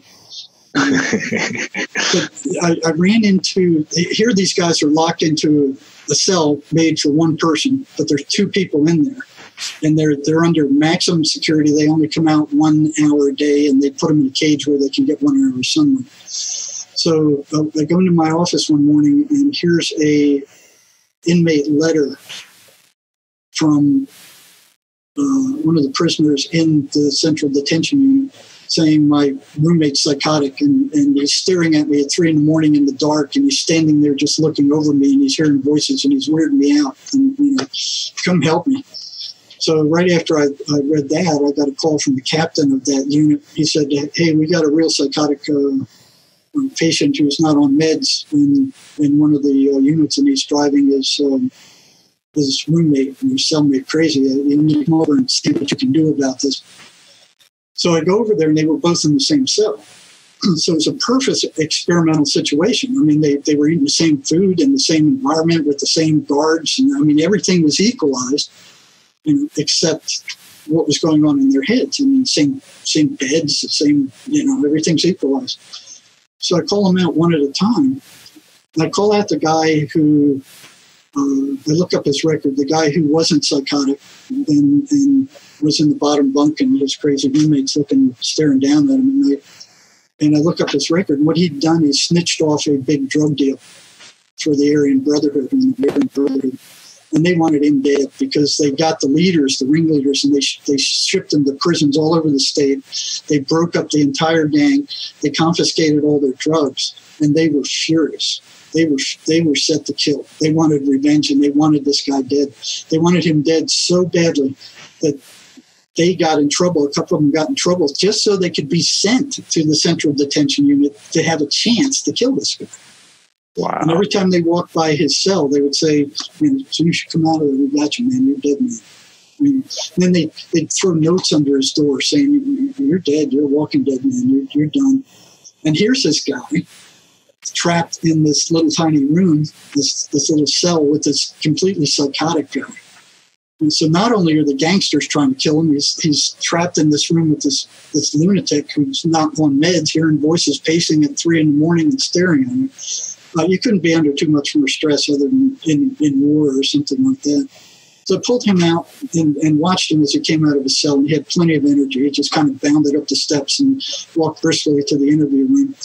And he sat down and uh, I'm, I'm watching his affect, and he had plenty of energy. I mean, he was nervous, he was anxious, he was fearful, but he had plenty of energy. His, his uh, volume was good, his voice tone was good, his, his speech rate was good. Uh, you know, he was just like somebody who was very upset, but he had plenty of energy. So I got all the information there, told him I'd do what I could to help him out. Sent him back to his cell and then called out the psychotic guy. He could barely make it up the steps he grabbed the handrail and he was just struggling to get up the steps. He shuffled over to the interview room. He sat down a and he was limp. And he, he, was just like, you know, very slow speech, just, you know, like he was struggling to answer questions. And, and he was hearing voices and uh, no energy whatsoever. So after I was done those two interviews, I went, well, no, that's not it. it, it it's not. It's not due to the anxiety. So, what is it? What is what is causing this energy drain? And it was consistent. Every time the voices would attack, these guys would be drained of energy. Some of them even said, "Hey, I could feel my energy leaving," and it drained them so bad that they couldn't even get out of bed and they couldn't function. Every time it was like a one-to-one correlation. When the voices appeared, their energy disappeared. So I'm like, "What's with that?" And um, So I, I read this thing from Miguel Ruiz where he's talking about these entities who, who lived off the negative emotional energy of people. And I went, that's exactly what these guys are telling me. So I brought that book into the prison, and I brought the guy in whose voices warned me. You know, he said, uh, "You have no right to interfere with our way of life." And I, I said, uh, "Hey, I, I got this from the shaman. He's he's written stuff that sounds like your voices. I want to read this to you, and tell me what you think of that." So I I was reading away, and I got to the part where it, the, the shaman Miguel Ruiz started talking about these entities draining the energy of their victims. And man, this loud electrical crackling just exploded in the back of my, at the wall in the back of my head. And it sounded like an artwork. Like crack, crack, crack, crack. And I'm like, what the hell? Know, I, I look around, there's nothing there. And the thing starts moving to the wall, office wall to the right, and it starts crackling up the wall. And I look at the, the, inmate and I said, you hear that? And he's just staring at me with this weird look looking me. And just a weird gaze. And it's like he was a zombie. He didn't say anything. He's just staring at me. I'm like, he's going to attack. So I, I push my chair against the wall and get ready for him to come. If he comes on, I, I kick him. And then it's, you know, they always assign female guards to the medical unit. And, and they'd be worthless at, at anything like this. And by the time any male guard got there, it'd all be over one way or the other. You know, so I was gearing up to have to fight and uh, pushed the, my, my desk against the wall and got ready.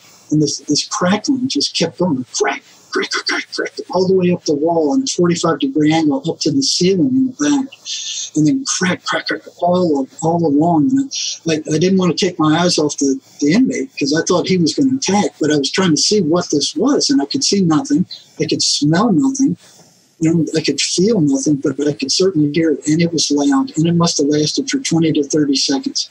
So it goes all across the back wall, and it starts coming down the left wall, crack, crack, all the way down to there. here's this Rubbermaid trash can on my left, and it leaps in there, and I look down in there, and there's nothing there.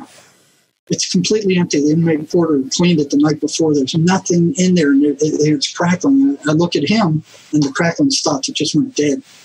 And I'm like, what the hell just happened? And he slowly gets up and he goes, oh, God, me. He shuffles over to the door and I'm like, get the hell out of here. Go, go, go. And, and I was I was absolutely stunned. You know, just I, I, I, I searched the walls. There was no burns. There was nothing I could see it never came back. I, I, went out into the hall and I, I, checked all the office doors for all the doctors down the hall. There was nobody there. They were all locked. It was first thing in the morning. Nobody was there except the guard out front and me. And, uh, know, I, you know, I'm absolutely stunned. And, and, yeah, I couldn't explain it. And it, it was like I was so shocked and dumbfounded that I canceled appointments for the rest of the day and just sat there staring out the window. There was no doubt now. This was the first time that I had seen them actually come out and do something in physical reality outside of the patient. So here I'm thinking, okay, I'm pissing these things off. And if they can come outside and affect physical reality, what else can they do? and and it, it, for me it was a shock because it was like playing in a dark room with rattlesnakes and, and, just realizing that their room is full of rattlesnakes.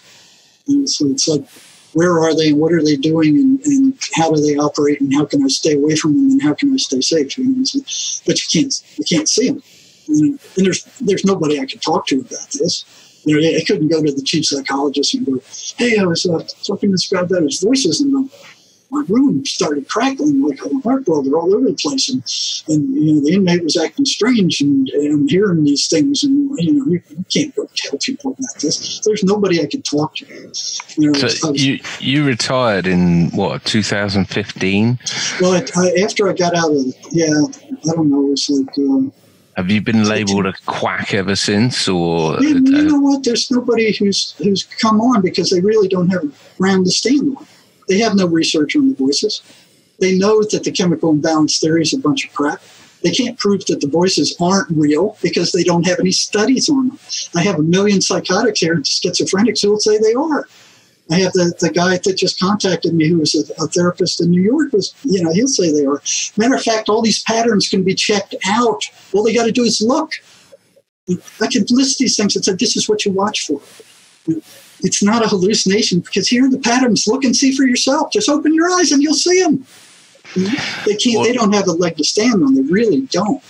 All I can say is um, welcome to the world of the flat earther.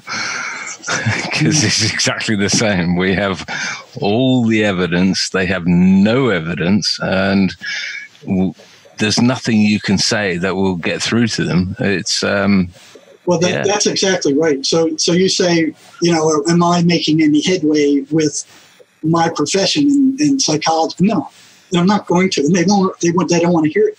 They don't want to see it. The drug. They're they're the puppets of the drug companies. They're going to do what the drug companies say. Uh, drug companies have very deep pockets, so they paid off Congress to to do their bidding for them. Um, you know, they license these guys. The, the, the medical schools teach what the drug companies want them to teach. So it's a completely controlled system. well, it's like government. Uh, Yes. it's it's it, it's broken beyond fixing. And it's not a case of trying to adapt yourself to persuade these people that are closed minded and just cannot see what you're talking about and been brainwashed, quite literally. It's about recreating um, a new reality uh, in which they don't exist anymore because they're irrelevant. Well, it, it's not so much a new reality because these things hit us all. Like I was saying, you know, you, you get these thoughts from time to time. Matter of fact, every negative thought you get about yourself or somebody else is coming from them. It's not your thought. One of the things we're, we're taught from the time we're kids is that all your thoughts are yours. You know, who else could they be if they're not yours? Where else do they belong? You know, and, and they're not. Emanuel Swedenborg Well, says that's just none, like none of your thoughts kids- are yours. Kids are taught those those dark things in the room aren't real. That's just dreams, and that's just your imagination. I mean, Right. we show up here seeing it. We show up here experiencing it. They we know they're there, just like the animals, our pets know they're there. But yeah, the conclusion to this uh, this this crackling story, when we finish that off, is I, I didn't have the guts to call this guy in for probably two to three months. I didn't want to see him. finally, I don't blame finally, you. My, my curiosity got the best of me, and I called it. Uh, I had the guards bring him in, and uh, I was expecting them to be in real bad shape. You know, so, so if if they can do that, and and they're after him, and they don't want him seeing me, I, I was expecting him to be just beat to hell, but he wasn't. He was in good shape, and that puzzled me. And I'm like, uh, you know, I, I thought you'd be toast by now. Goes, no, no, I, I did what you're telling me, and I'm able to keep them at bay to some degree. But he, didn't push it hard enough to get rid of them, just to kind of keep them under control. He, did, he didn't he didn't push to get totally rid of them. And uh, you know, we had, we did some small talk, and then I said, "Do you remember the, the crackling the last time you were in my office?" He goes, "Yeah, yeah." And I, thought, and I said, "Did you hear that?" He goes, "Yeah, I heard it." And he said, "I'm surprised you did." And I said, "You know, what the hell was that?" He goes, "That was them." And I said, "The voices?" He said, "Yeah, that was the voices." And I said, what, "What were they doing? What the what the devil were they doing?" He said, "They were they were trying to scare you." And I said, "Well, they did a damn good job of it." I said, "What's the deal?" And uh, he said, "Well, they, they they were trying to scare you off." And uh, said, "Well, they did that. And uh, you know, I remembered how strange he looked when he uh, he left my office, and I said, "What were they telling you when you left my office?" He said, "They were telling me to go get a shank and stick it in your belly." Wow. I, I didn't take that serious because maybe I was because I'm stupid. And then I'm like, well, I've been working with this guy for six months. I mean, you know, I know him well. I mean, I know his voices. I know what he's going through. I know his family background. I know his, his criminal history. I know all this stuff about him. You know, I, I know him. You know, he wouldn't do anything like that. You know, and um, so I asked him, I said, well, why didn't you do it? He said, I couldn't find one. What the hell am I getting into here? Wow. You know, and, and there's nobody to talk to. I mean, who am I going to talk to? I tried to bring this up with my wife, and she, I don't want to hear it. I don't. want You got to stop doing that. Yeah. So forget that. You know, and- then she's going to start thinking I'm a nutcase too. There was nobody I could talk to. That was the worst of it. You know, here's here's this other world, and and I, I see patterns to it, and, and I'm, I'm starting to learn how it works. And there's nobody I can talk to about it until I hit uh, this book called The Presence of Other Worlds by Wilson Van Dusen, who was a clinical psychologist in one of the uh, state hospitals in California. He was also a, a um, devotee of um, Emanuel Swedenborg, who was a Christian mystic who lived some 700 years ago.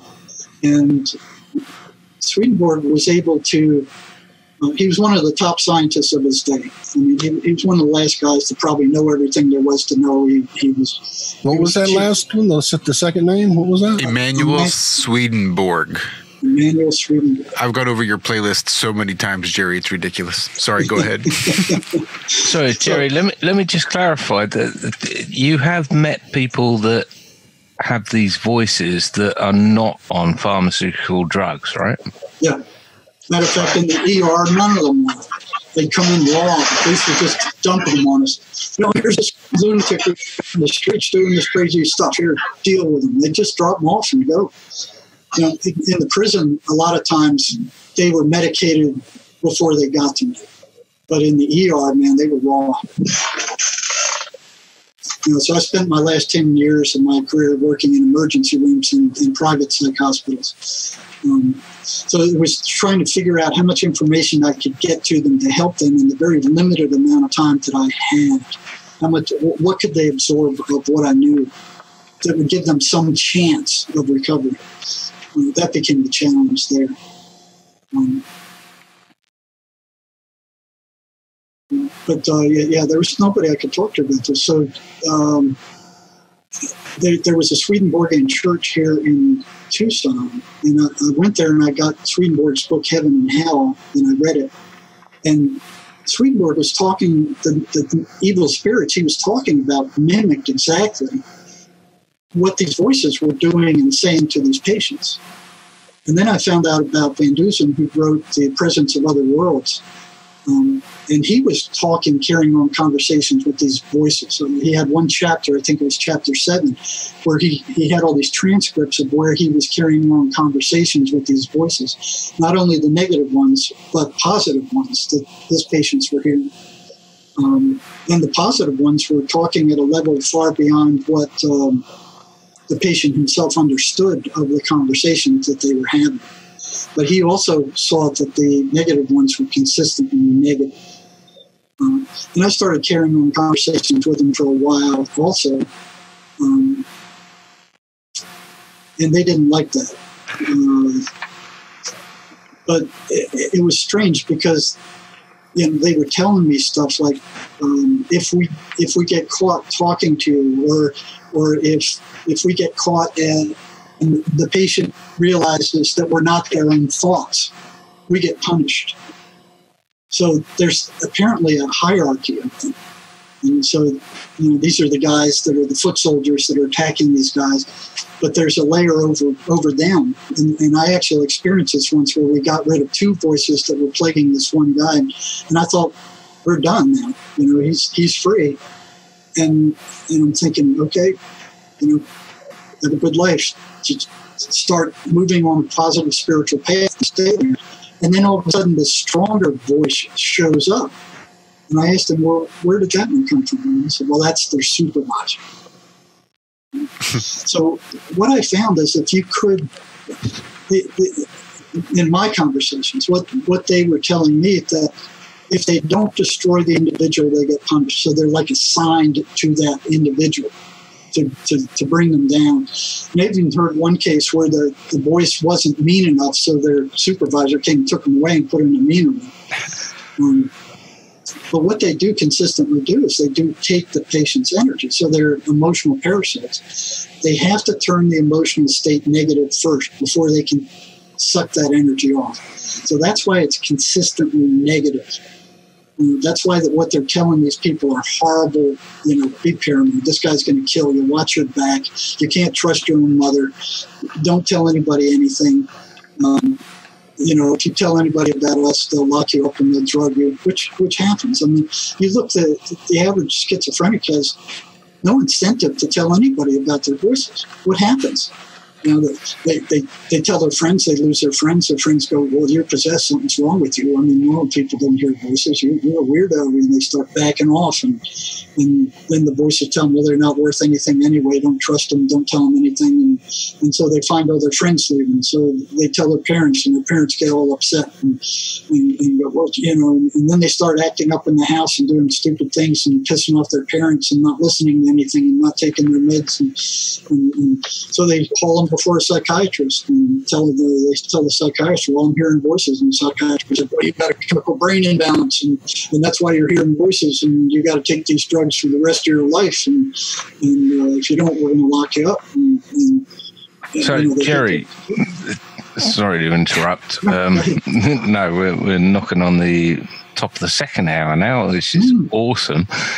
Um, yeah, it is going fast, but um, I'm, I'm probably going to have to knock off here because it, uh, in the UK it's it's yeah nearly one o'clock in the morning. But one final question. Um,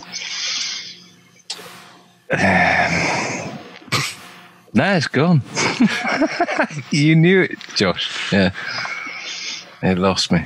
It'll come back. that much. It'll come back just as you come back, John. Um, John. So, but yeah, Jerry, we're not going anywhere. John's just in a different. There you go. It's come back. Don't worry. So, for anyone out there that That, that was is by hearing voices. what? How? How were you disrupting these voices? How were you stopping them or or quelling them in some way? Um, you know, because I imagine there's quite a few people out there that may have been hearing voices that would never tell anyone, a doctor or anyone even near them, you know, because of the connotations that come with hearing voices. Obviously, you're you're going to end up in a straitjacket and a padded cell. What what would what advice would you give to anyone who is possibly hearing these voices? Well, in the UK, there are, there's several hearing voices groups where they can talk to scores of other people who hear voices. Oh wow! So, and they can talk to them. Um, and there's international hearing voices groups that way too. Um, so what they, they talk to each other about what the voices are telling them and, and you know how they cope with them and, and that kind of stuff. The thing is to get the idea across that they are real, and, and they're they're energetic parasites. So the first first thing is to break the spell of psychiatry and academia. And, and they, have to understand that these things are real, that they follow a number of fixed, predictable, unswerving patterns, which is not characteristic of any kind of hallucination. So they are not hallucinations. And psychiatry will tell them they are. They're not real. It's all in your head. It's not real. And that makes them even more upset because they- they're kind of going, once, once you attribute the cause to something you can't do anything about, and you have to take their meds, their, these expensive toxic meds. Now, I'm not saying that meds are useless. I mean, they're very useful in bringing down the volume of the voices so you can reach the patient with the kind of information we're talking about here. Know, unless you know how to get rid of them temporarily on, your own, which most people don't know how to do that, the meds are the only way to calm them down to, to the point where you can reach them. So I'm not saying those meds are totally useless, but they, they shouldn't be used consistently as a treatment. These people have to be taught ways to get rid of them. Um, and to realize that it's not them, it's not their brain, it, it- it's not them attacking themselves. These attacks are coming from another source outside themselves. So once that happens, they can. There's a split there. And it makes a major difference whether they're attributing these things to them being crazy and their brain having a chemical imbalance and something being wrong with them and their brain to no, it's it's not my brain. I'm hearing these things. Other people are hearing these things. They're all seeing the same kind of things. They're coming in from outside of me, even though they sound like me. Now, a lot of patients can tell the difference, uh, and a lot can't. So, one of the main ways to tell the difference is the intent of that voice. If the intent is negative, it's not you. It's not your thought. Um, other people can tell by they sound slightly different, and they're male and female ones. You know, and some of the female ones are, are more vicious than the male ones. Um, some people experience being touched and, and sexually molested by these things. Um, when they really get control and they're no longer afraid of being interfered with, they will move outside of the patient's head and speak to them like from two, three feet outside their head. At that point, that's really upsetting because the patient then knows that it's not them. And here's something talking to them that they've been talking to for a long time now outside their head, speaking to them. And they will they will tell them stuff that there's there's no way they could know. You know, I, I had prisoners tell me that when they ran out of meth, and meth is very dangerous. You, I see more psychotic uh, psychotics with psychotic on meth than any other drug. They don't like marijuana because it calms the patient down. They don't want them calmed down. They want them all whipped up. They want them negative and and initially. Um, Uh, Jerry, real quick. You know, um, oh, go ahead, Josh. Well, I was just going to say, I've got sort of a sordid history with drugs and alcohol, along with uh, an ex wife who was diagnosed with PTSD and bipolar disorder and borderline personality disorder. Um, it's a tough lineup. Yeah, boy, tell it's me a real it. tough lineup. Yeah, tell me about it. That was no fun. no, I bet. Are there paranoid schizophrenics that have actually completed a 12 step program that have maybe worked all through all 12 steps? None that I know. You know, the, the 12 step program is a, it's a very spiritual program. And, mm-hmm. and that's why it works. You know, these, these voices don't want these guys going near anything positive spiritual. They don't like people, they don't like the victim being happy. They don't like them having friends. They don't want them reading any positive spiritual anything. They don't want them going to church. Uh, they don't want them going to 12 step meetings or, or anything else. Yeah. They want them isolated unto themselves where they can attack and generate this negative emotional energy without interference.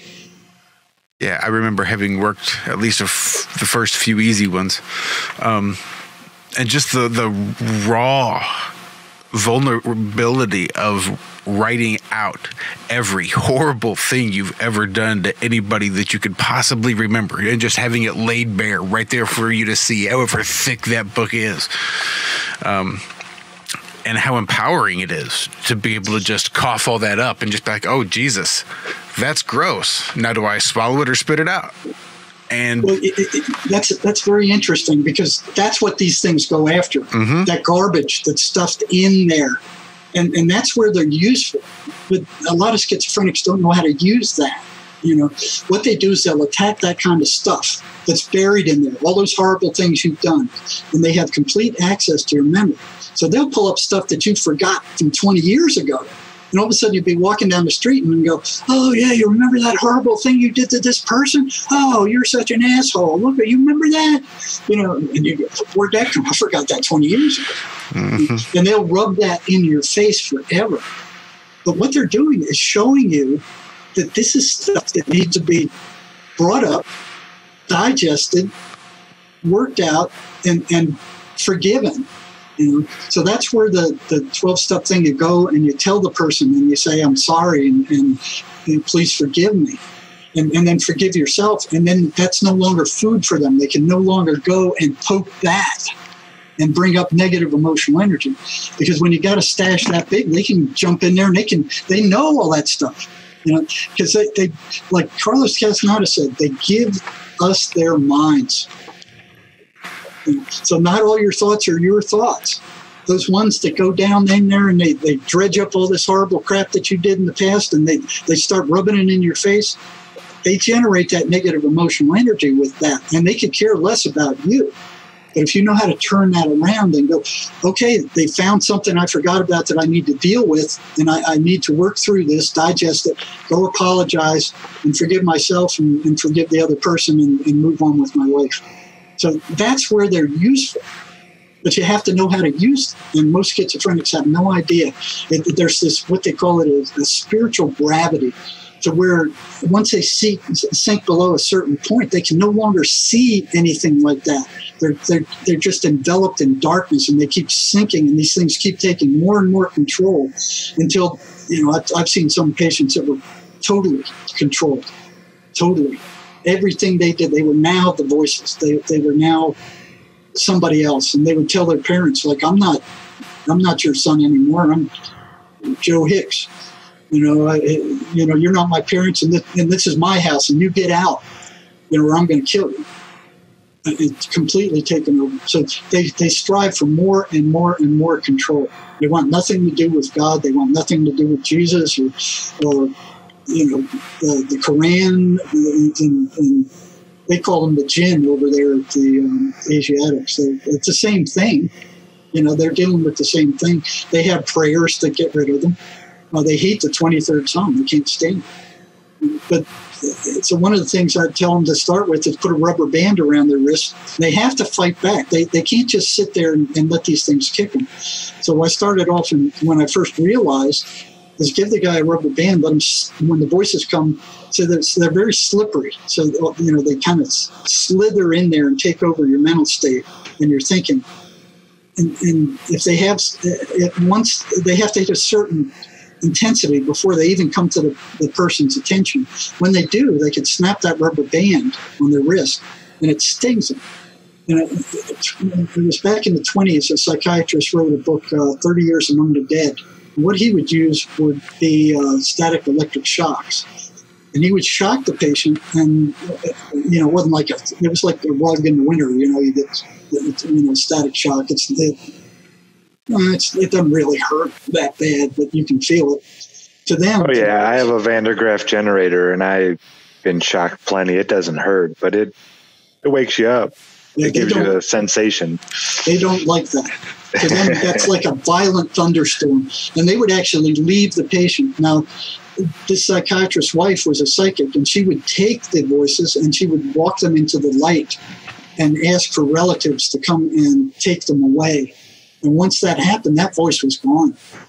And I experimented with that with some of the prisoners, and it did work if they were willing to walk into the light. Not all of them were willing to do that. Um, and, and, once that happened, they were gone.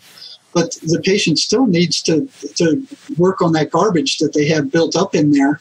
Well, yeah, there'll and, be a new a new one to come. A new one coming right behind. It. Yeah. Right. So, so if you're Wow. only using meds or you only use an exorcist that drives out the ones that there, and you don't clean out that that garbage that's attracting all the flies and the, and the, the roaches, they're going to come back and they're coming back with more. Just like the Bible said, they'll come back in force, and it'll be even harder. And I've seen that and experienced that also. But they are very real.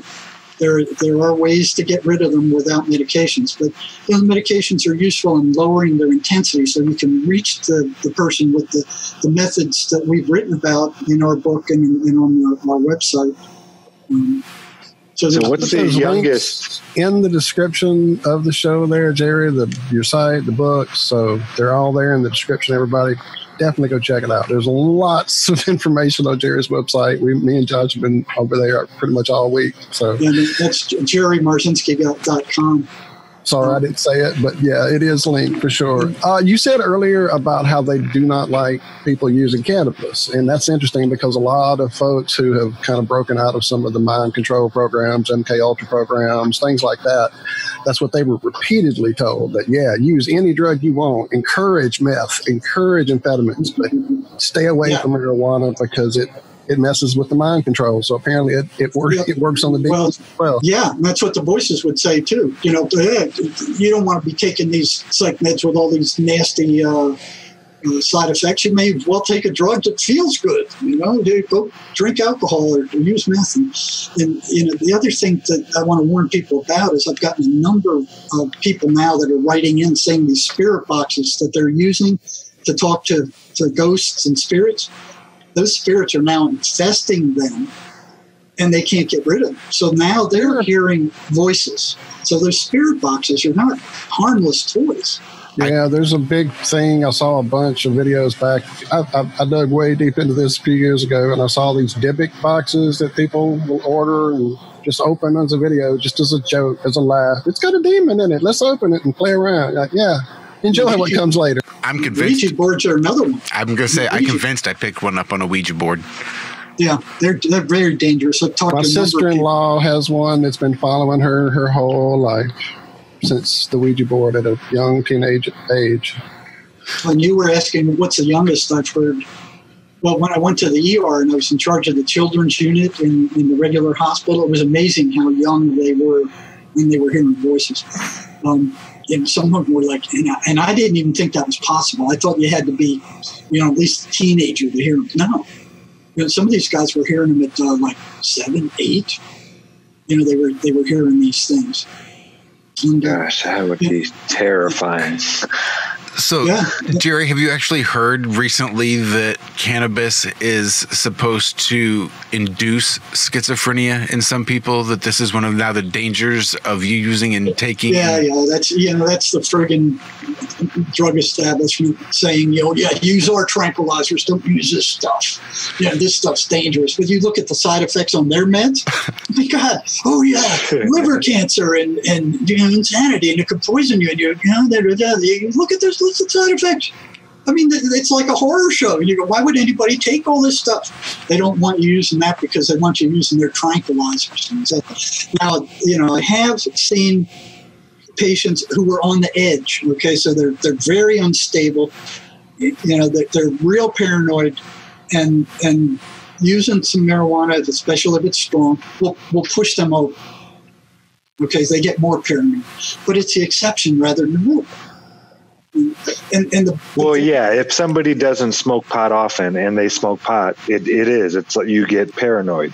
But for people who smoke it regularly, those are the people that would be, you know, it wouldn't kick them over the edge.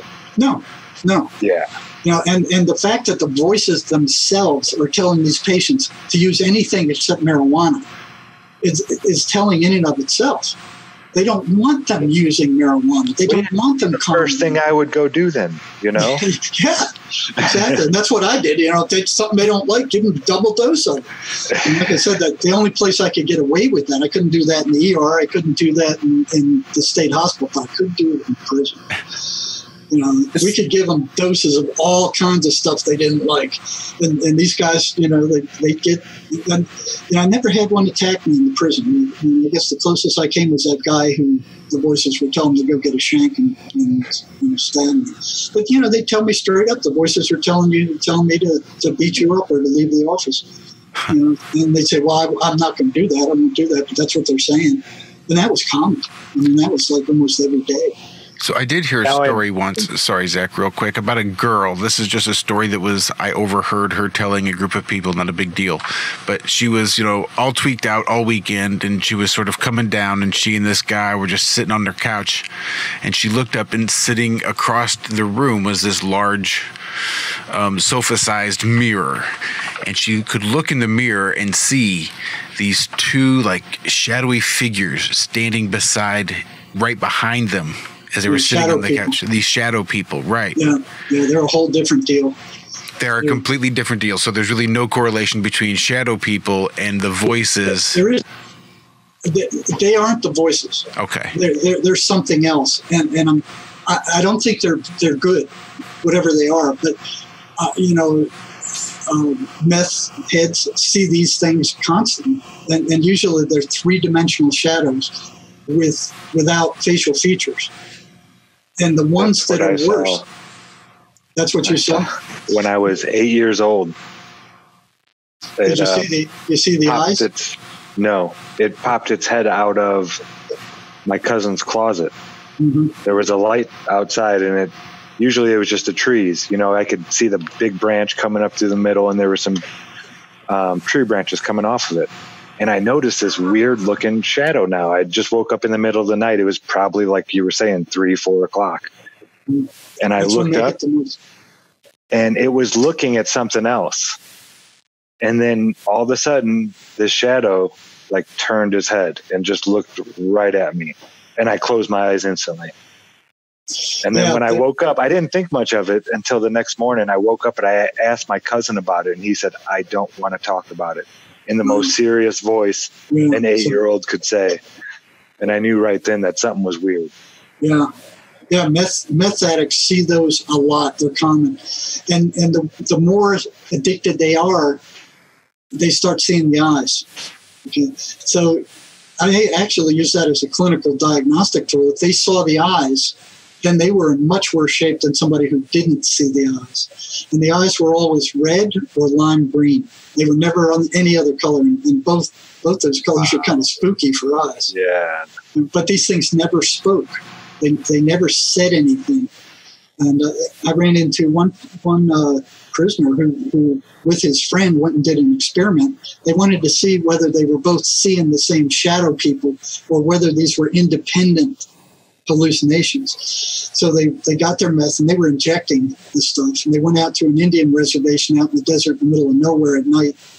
And uh, one of them injected the meth and he started seeing them and, and the other guy didn't. So he's pointing him out in the desert and he said, You see that one over there? Yeah, no, I don't see him. Well, how about how about this one? There's one standing right next to you. You see him? No, I don't see him. So the second one injected meth, and then after it took effect, then they started comparing. You see that one over there by the tree? Yeah, I see. What's he doing? He's doing this. They came to the conclusion that they were seeing the same thing. So here was this independent confirmation that they're both seeing the same ones doing the same things. Now, one thing the prisoners would consistently tell me is, is a lot of them would see these things and then run off. They, they, they'd leave. You know, they didn't want to be around them. They felt that there was something bad about them. But the ones who were curious and stood there and, and looked at them and, and watched them and were, what is that? They'd start moving toward them. They could sense when they were they were being seen and they'd start moving toward them. That was real scary. So what these two guys said was they were so enthralled with pointing out the different ones and what they were doing and, and surprised that they were both seeing the same thing that they tons of them started coming out of the desert and they were surrounded by these things and they were all moving toward them so when they realized that they jumped in their truck and locked the doors and rolled up the windows. So they're watching them from inside the truck. And all of a sudden the, the, the patient you know bam the back of the truck was like somebody dropped a giant boulder in there. And and it recoiled in the front and went up. Like some horrendous weight was was thrown in there. And uh, and that took me back. And that, and that was before this other experience. You know, that that was the first inkling that I had that they could affect physical reality was that guy's report. And uh, I asked him, "Well, what'd you do?" And he said, "We, we started the truck and almost wrecked it getting out of there." And I asked him, "Well, did, did, you, did they follow you?" And he said, "No." So they're out there. Schizophrenics see them.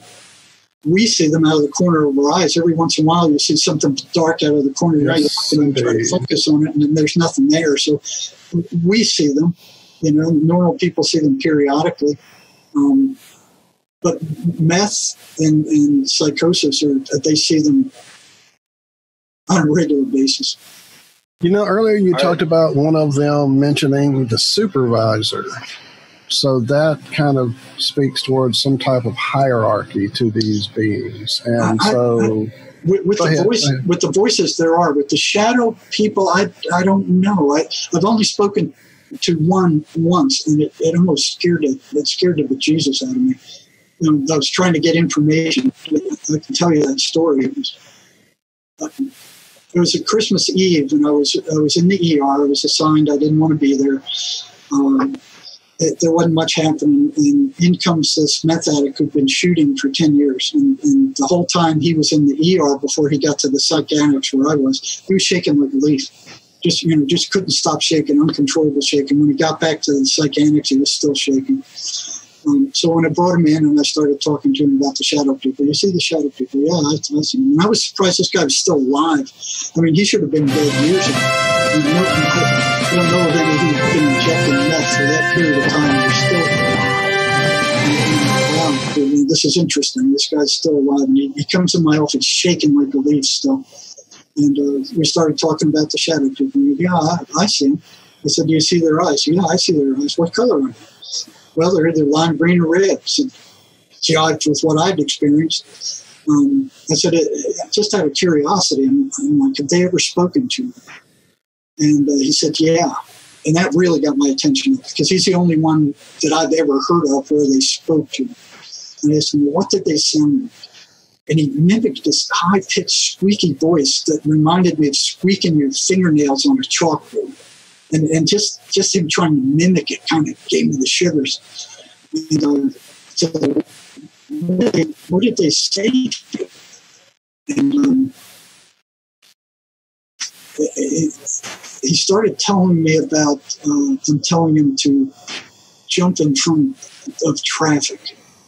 And, and then all of a sudden, he disappears and his eyes completely changed. And, and there was another being staring at me through his eyes. And it was like these two dark pools of black hatred. I- I'd never felt such cold hatred in my life. I mean, it, it was like looking into this infinity of hatred. And, and his shaking went away. He was completely still. And I was staring at this thing. And one of the things I learned long ago is you don't run from these things. You've got to sit there. And as much as you hate it, you've got to sit there and face them down. So I'm sitting there staring at this thing, and it's staring at me. And it was like I could just sense this hatred. You know, and, and, and it wasn't him any longer. This it, it was clearly something else looking through his eyes, and, and his eyes actually changed. They got much darker and bigger, and and that went on for seemed like an eternity, but it must have been like 10, 15 seconds. And then it just boom, it blinked off, and he came back, and he his eyes were the same again, and, and he was he was shaking, quivering again, and I was like, oh jeez, man. Um, and uh, and I went on to question him. I'm like, what did they say? What did they say?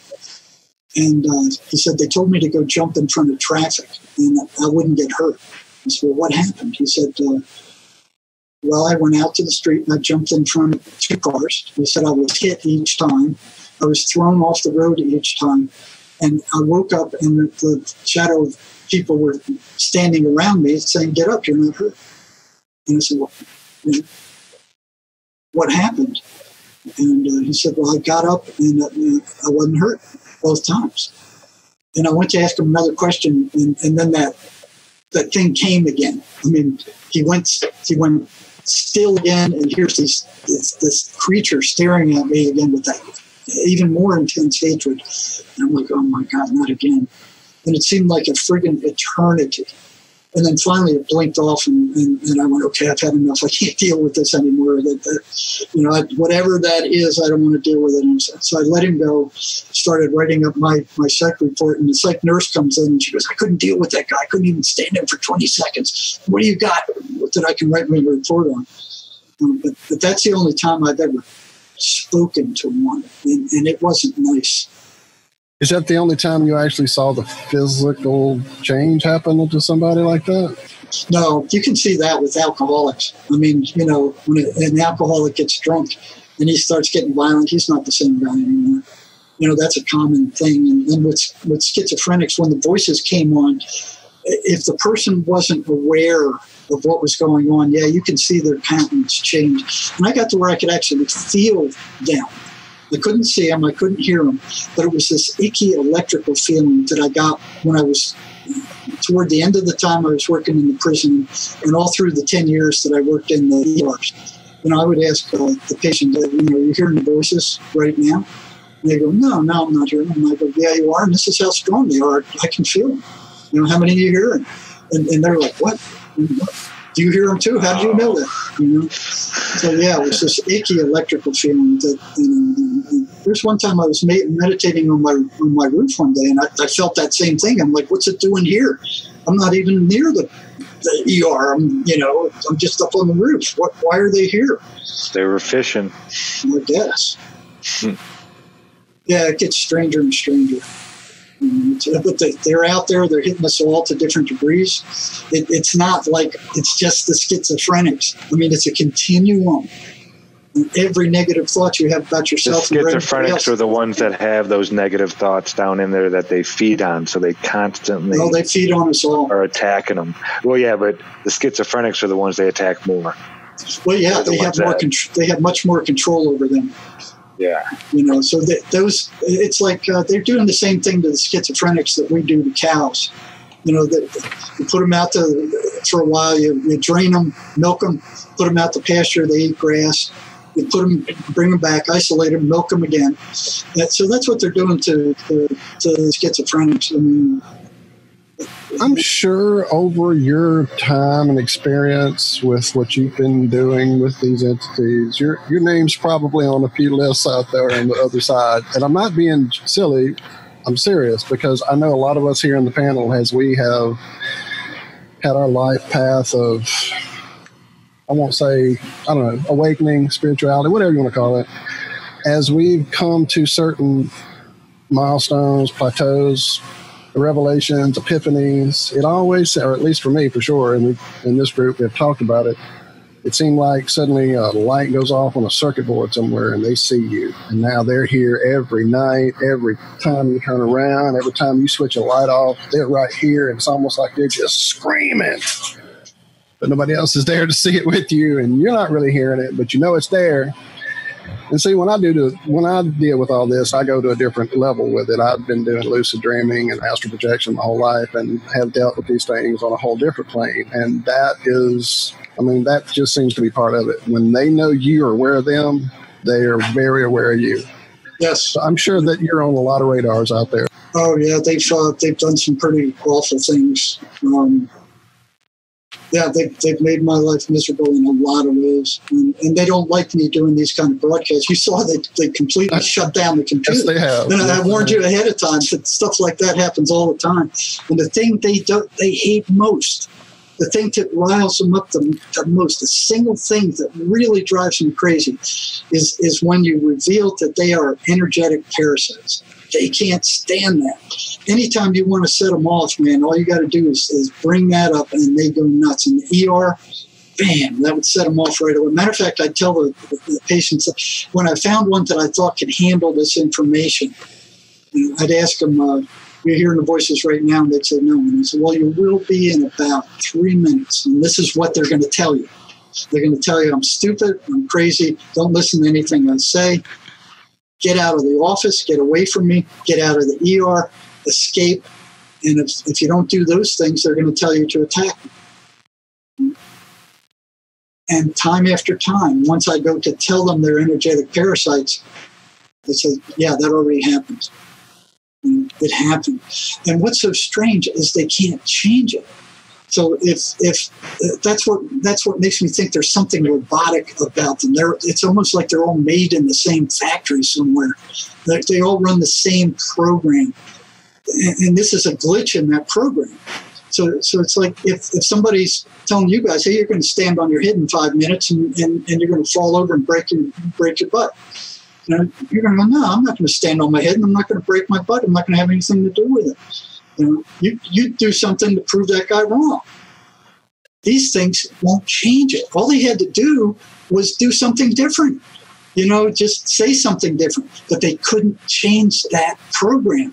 They would say the same thing. Oh, I would predict it, and they would follow through instead of proving me wrong. And then you're, the- you're, what you're saying right now has been on my mind a lot here of late. I really know, you know, there's bad energy, there's bad dark energy coming from these things, without a doubt.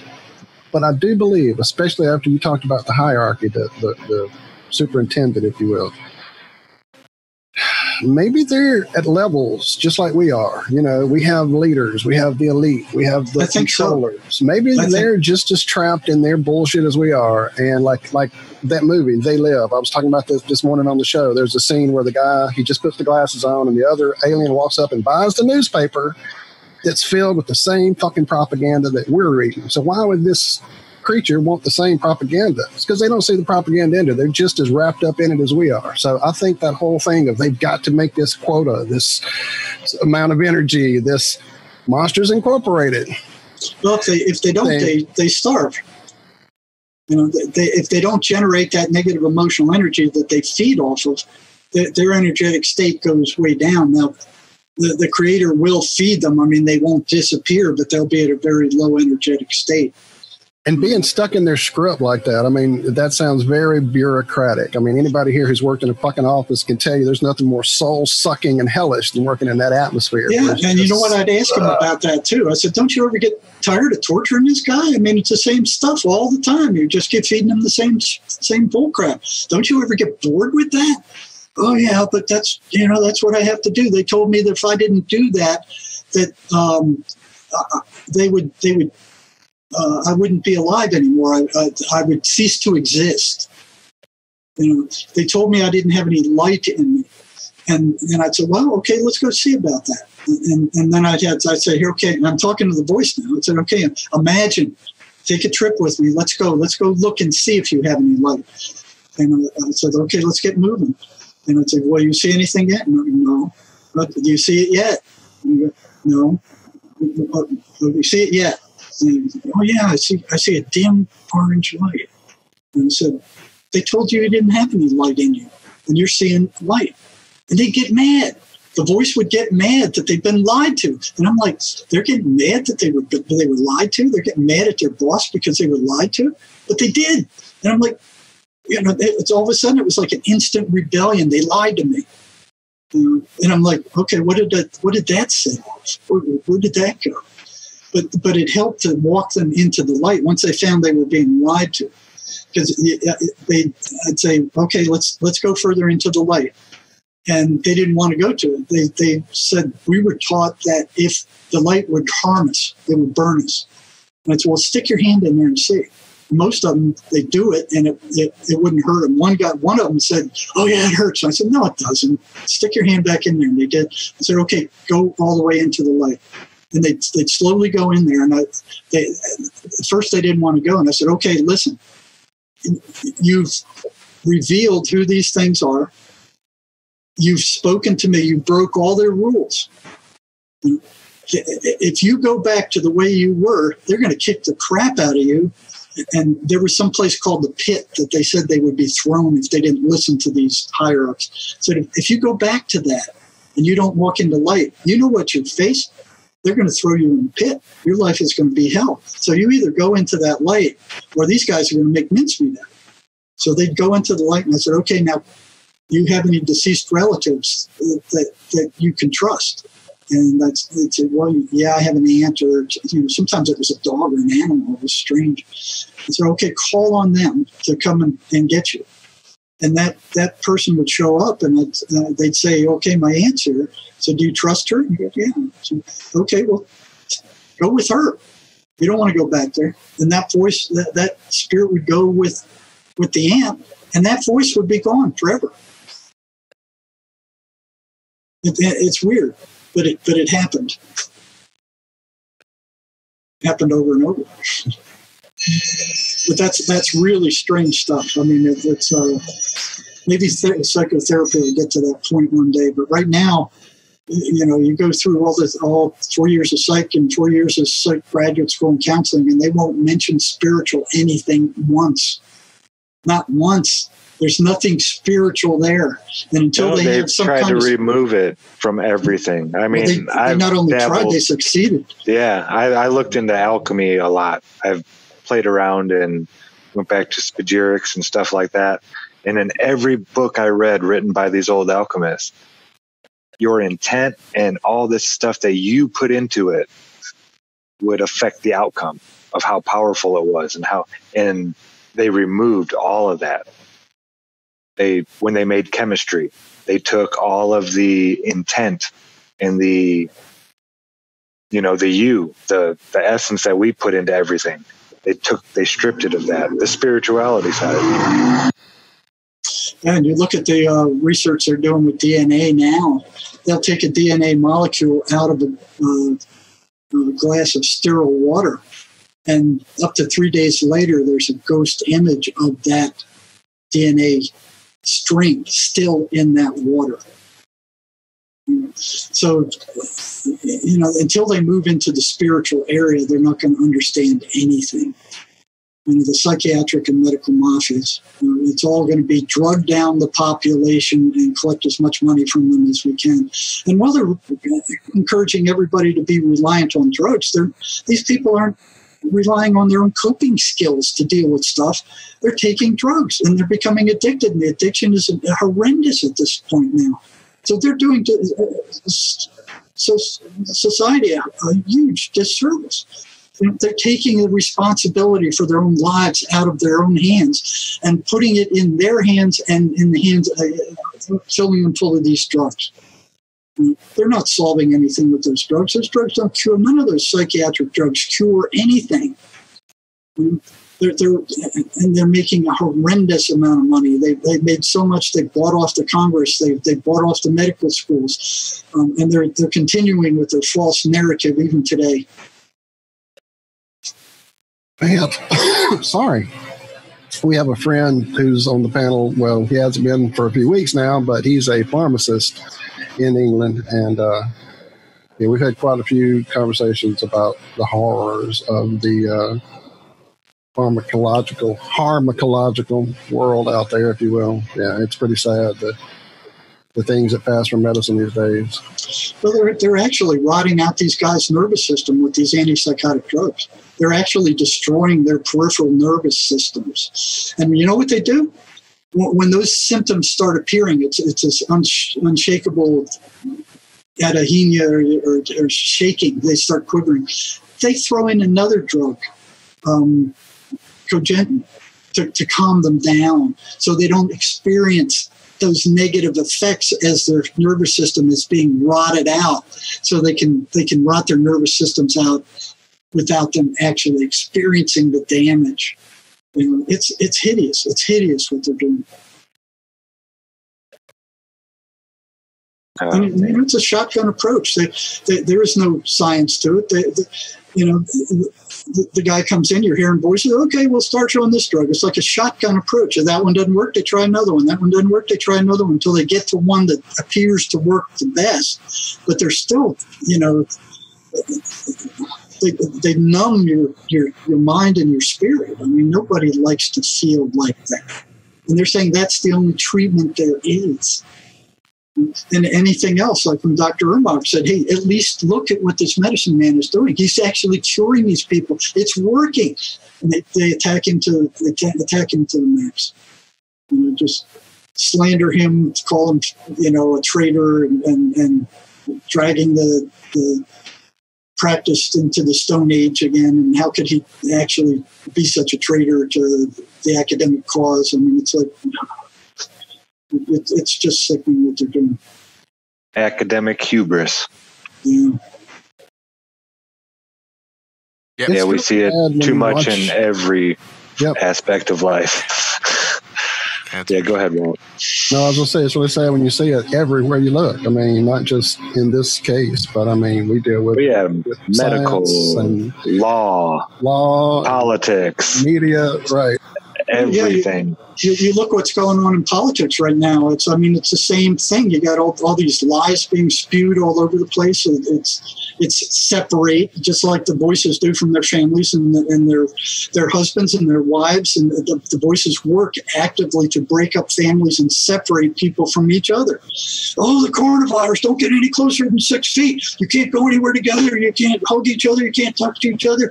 You, you, it's the same thing the voices are saying. I, I'm sure it's coming from the same friggin' place. You know, on a macroscopic level now.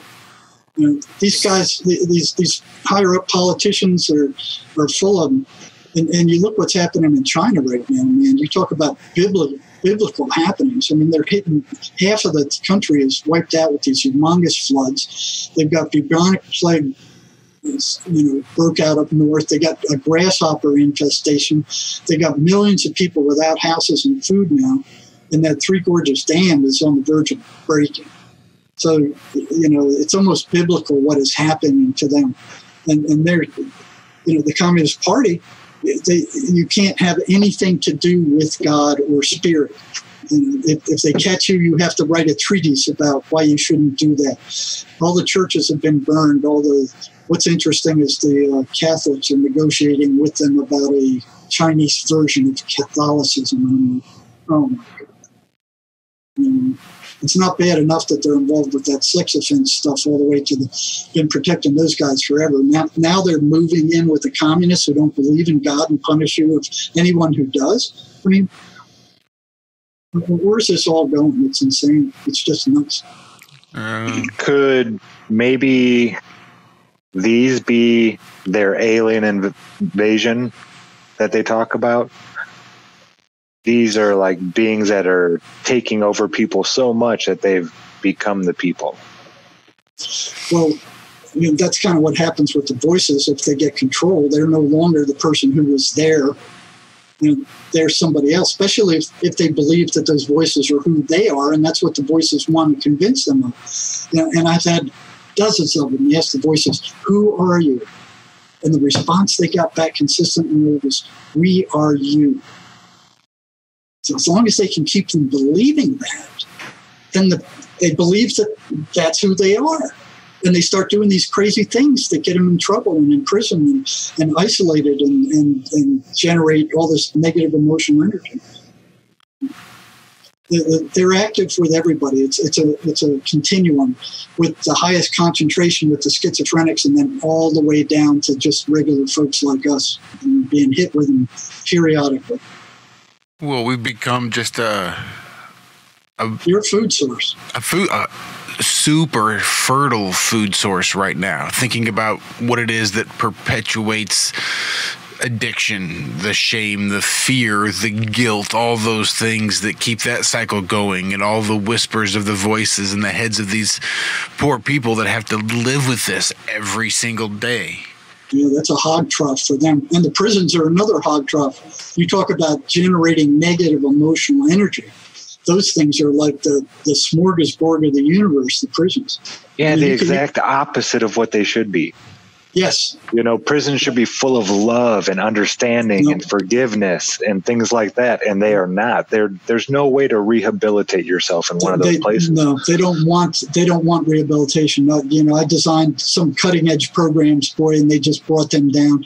Anybody who tries to do anything good for the prisoners is is driven out. I mean, they- they'll sabotage it. They don't want anything good happening in there. And the private prisons are the worst of all. At least the state and federal prisons try to do something for these guys. The private prisons do nothing. No, except, they want except more bars, more blocks. that, that's it. You know, as cheap as possible. They don't want to do anything good for them. That nothing that costs them time or or energy or resources. Nothing. It, it's just to keep them incarcerated and, and let you know, well, figure it out yourself. You know, even even they've even blocked AA and NA from coming in there, saying, "Oh, these are these are these guys are felons. They've, they've been in trouble with the law. We can't let them in the prisons." What? Yes, yes. I've, I've run Wow. in that over and over and over again. There was one time where I was the uh, volunteer coordinator for the prison, and I would let in, you know, Catholics and, and Muslims and, and Christian scientists and anybody who had a positive spiritual orientation, you know, Buddhists and and, and the, the, the Christian mafia in there, these um, rabid fundamentalists went to the warden and complained, saying, "Well, he's letting in all these other guys." You know, well, yeah, yeah. People are at different levels to be able to see different things, not just your point of view. And, and I was relieved of that position. Wow. Wow. So yeah, they, the the prison something has to be done there because they're releasing these guys. I, I've seen them release guys that I knew they were going to kill somebody in six months, and they were done their time. So that that's it. Okay, they're done. They they got to go. So somebody escapes from prison, and the mainstream media gets on there and goes, "Yeah, you're all going to die. There's a murderer loose in your neighborhood. You better lock your doors and get your guns, man. You have to worry about it. Okay, get your kids inside. There's some. They're releasing these guys every day, 25, 30 of them into the community, and a lot worse than the guy that escaped. They've done their time. Oh, here's 50 bucks. Get out of here. Go. go Yeah, the guy that sit in the escaped was trying to get away from these people Yeah. that they're releasing, probably. Ah, But now they're releasing. They've done their time. They're done. You know, so okay, you finished your time. We got to let you go. And they just throw them out with 50 bucks. That's it. Nowhere to go. No halfway houses. You know, go survive somewhere. No, really, the recidivism rates are as high as 75%. You know, it's, it's, it, it's a plague on society. It, it, it's a very damaging, dangerous organization. So, do you think these beings could actually be in control of They're in our control. society? Well, well, it's a battle right now. There's a huge battle going on over here, and they're being exposed by Trump at a, at a, a rate like never before. John F. Kennedy was was murdered for much less than what Trump is exposing right now. So he's he's he's yeah. We arrested all these child molesters, and these guys are involved with all this criminal stuff, and we're investigating. And it's here we found, you know, he's exposing all that. They tried to kill him 25 times already, if not more. They would have had him if he didn't have his own private security force. Mhm. Yeah, JFK didn't. They pulled his. Yep, yep. And then they pulled away the uh, yeah the, away from his car too, the Secret Mhm. Service. So they would have got past the Secret Service and got Trump. But Trump's got the military behind him. You know, he's got a big faction of the military behind him. So he's, he's so far he's been able to stay one step ahead. Um, if he doesn't get back in, man, we're done. We're done. I've been seeing lots of uh, police, uh, even county commissioners, port authority, all different types of sheriffs, even getting arrested and losing their seats of power because Yeah. of these body cams now. There's an army of people out there going through every body cam footage, you know, second by second, and just pointing out all the bad things that these officers are doing. Well, the, de- the Democrats want to take those body cameras away. So there's oh, no I'm way- sure. You know, they've, Yeah. they've been hammered at that forever now, and and now they're defunding the police over here. The Democrats are defunding the police, a billion dollars out of the budget for New York City, and the crime rate has already soared. Uh, police in New York City policemen are retiring at a horrendous rate. The rest of them are getting sick of the dealing with this stuff and going into other areas. Um, they've defunded the police, and all, all the Democratic states are, are defunding the police and pushing this Antifa stuff you know, which is total pandemonium and funded by Soros, you know, and, and other bad actors. They, they, they're, they're Yeah. shooting for pandemonium. Well, you saw what happened in Seattle. They had a murder up there, and they tried to call nine one one. Yeah. It's like, are you serious? You're you got rid of the police. You don't, don't have any police now. You don't Yeah, get to and- call nine one one. And, and Minnesota, now, all the damage that was done to their city, now they're begging Trump for federal funds to re, to repair all the damage these morons have done to their city. And Trump is going, "You got to be kidding! You're the ones that left them in there. You're the ones that pulled the police back. You're the ones that called the called the police off and said they couldn't respond. Deal with it yourself."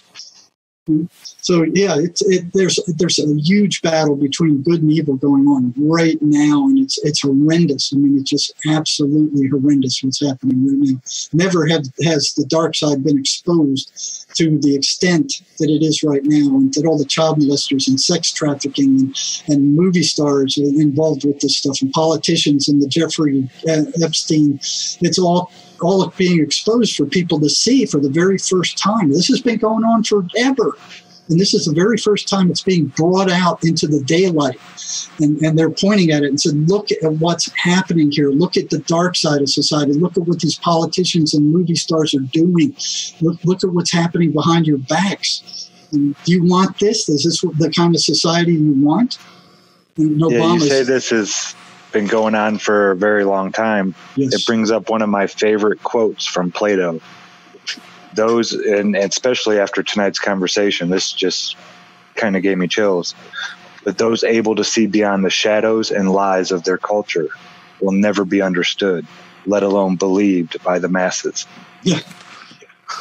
Yeah. And that never became more prevalent than it has after this conversation about the Right. shadows and Yeah. Well, you know, that's where I'm at, and that's where Trump's at. You know, it's, both of us trying to bring out what is actually happening for people to wake up. And, and people are waking up. They're waking up at a horrendous rate. You know, for the first time, they're seeing all this stuff now that the, now that it's coming to light. But the mainstream media controls all the media over here except for Fox News, and they're making they're encroaching on on that. But the mainstream media is completely controlled by the deep state over here. I mean, they're just constant lies, time after time after time. And Trump will point them out. Yeah, they're lying about this. Here's the, here's the truth. It doesn't matter. You know, they come up with another lie the, the, the next day and just put it out there. And oh, well, we must have got that wrong. And, and it's one after another. But people are starting to wake up to that. You know, the- Yeah, that television is a great weapon, isn't it? Oh, geez. They just have they can say anything and people will believe it because it comes off that little rectangle.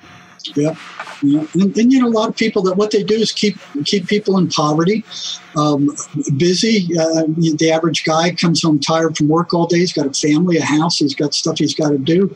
Then he eats. He turns on the television, looks at the mainstream media news, gets his dose of propaganda, and goes, "Oh yeah, man, look what Trump's doing. He's horrible." And then. Uh, uh, goes to sleep believing that Trump's a, a complete, you know, uh, and, and doesn't look past. He can't look past because that's the mainstream media, unless he goes to YouTube or something like the X22 report. And- Yeah, he did. doesn't have time for that though. Doesn't have time to do the research himself. And the deep state are keeping people in that state where they don't have time to do their own research, that they're just trusting what the mainstream media is saying. And they've brainwashed virtually all the country after country after country. I've been trying to find it for the last week. It was a director of the CIA, I believe it was from the 50s. It was in black and white. And he said, We will have completed our mission when the um, everything the American people believe is wrong. I believe that. And then, you know, one of the psychiatrists was saying, "Yeah, we we need to take over religion. We we need to take over uh, schools. We need to take over, you know." Uh, and all these things they wanted to take over so they would have the power to run things, and, and you see what they're doing. All these made up mental illnesses, and, and the, the deep state is using this. Oh yeah, you're crazy, man. You don't believe what we're saying? You know, yeah, we'll send you to psychiatrist Joe Blow, and he's going to he'll commit you because you're a nutcase. You don't believe what we're saying? You're taking a, a different view than we have. Yeah, we, we'll lock you up for a while until you're full of drugs. Shut you up. It's been abused over and over and over. And psychiatry has way, way too much power that they do not deserve and, it, and it's all an illusion. All, every single one of those mental illnesses, like I said, it's totally made up. It's fabricated. Totally It's, fabricated. it's like a new priesthood. yeah, exactly. It reminds me of the Egyptian priesthood. And they're scarfing up more and more power, and, and the drug companies are giving them that power. Prior to uh, the coming on of these these antipsychotic drugs, they were the stepchild of neurology. Know, they were like, you know, get out of our face. We don't want to even deal with you. Uh, but once once these drugs came out, man, they just latched onto those, and, and they're like the, uh, the the puppets of of the of big pharma. And they get Yeah, all I kinds learned- of drugs. I learned at a young age. My uh, one of my middle school history teachers. Oh, I can't remember his name now. I can see him. Smith, Bernie Smith. He um he was a lobbyist, and that's the only reason I learned about lobbyists in school because he was one and he would brag about it to us. He'd sit there and grab his suspenders and put his arms behind his head and talk about how he took out this politician and would give them whatever they wanted. If they wanted you know if they wanted to go have fun over here or if they wanted to go gamble or this we just took them out and spent a lot of money on them and showed them a really good time. And they would vote the way we wanted to. And i was like isn't that bribery? He's like no there's a law that says that it's legal so it's Yeah. okay The, the drug companies have one of the biggest lobbies in in Congress. I mean, they got people there all the time hammering on these guys. And so, so they, they get away with. I mean, you can go, like I said, you can go across the border to Mexico and pay a small fraction of the amount for these same drugs made by the same companies across the border. But they're milking U.S. citizens at a horrendous rate because we we have more money than these other countries. You can't even bring those drugs over from Canada anymore.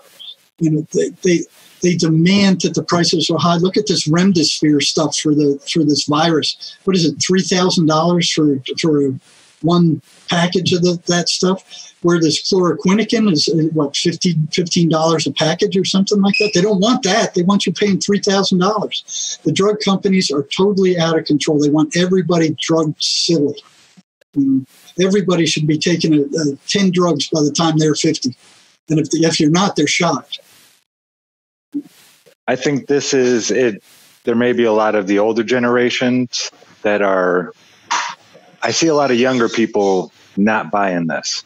Good. Is pretty much what I'm saying. I'm, I'm thinking this is going to wake up more people by doing this. So it's it's kind of backfiring. I think on.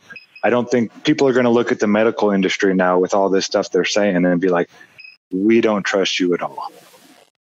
There um, is, they can't even agree amongst each other anymore. It's, it's not the entire medical industry. I mean, you got surgery, uh, you, got you know all these uh, things, but when it comes to drugs, you know, you, you got to be real careful, especially with psychiatric drugs. And, uh, I remember a psychiatrist telling me that most of the the effect of these psychiatric drugs is the placebo effect, the, the patient believing that that drug is going to do something. And I remember asking him, I said, well, you know, if that's the case, why spend all the money on these drugs? And just give them a sugar pill and tell them it's going to do this. And he goes, no, no, no, no, no. If they find out, if they found that out, then the drugs wouldn't work at all. And, and I, here's a psychiatrist telling me this. This was the head of, he was the chief psychiatrist in the, in the unit where I worked at the state hospital. And I'm like, whoa, you know. And the same thing with um, antidepressant drugs. You know, a lot of it is is the placebo effect, the belief that that drug works.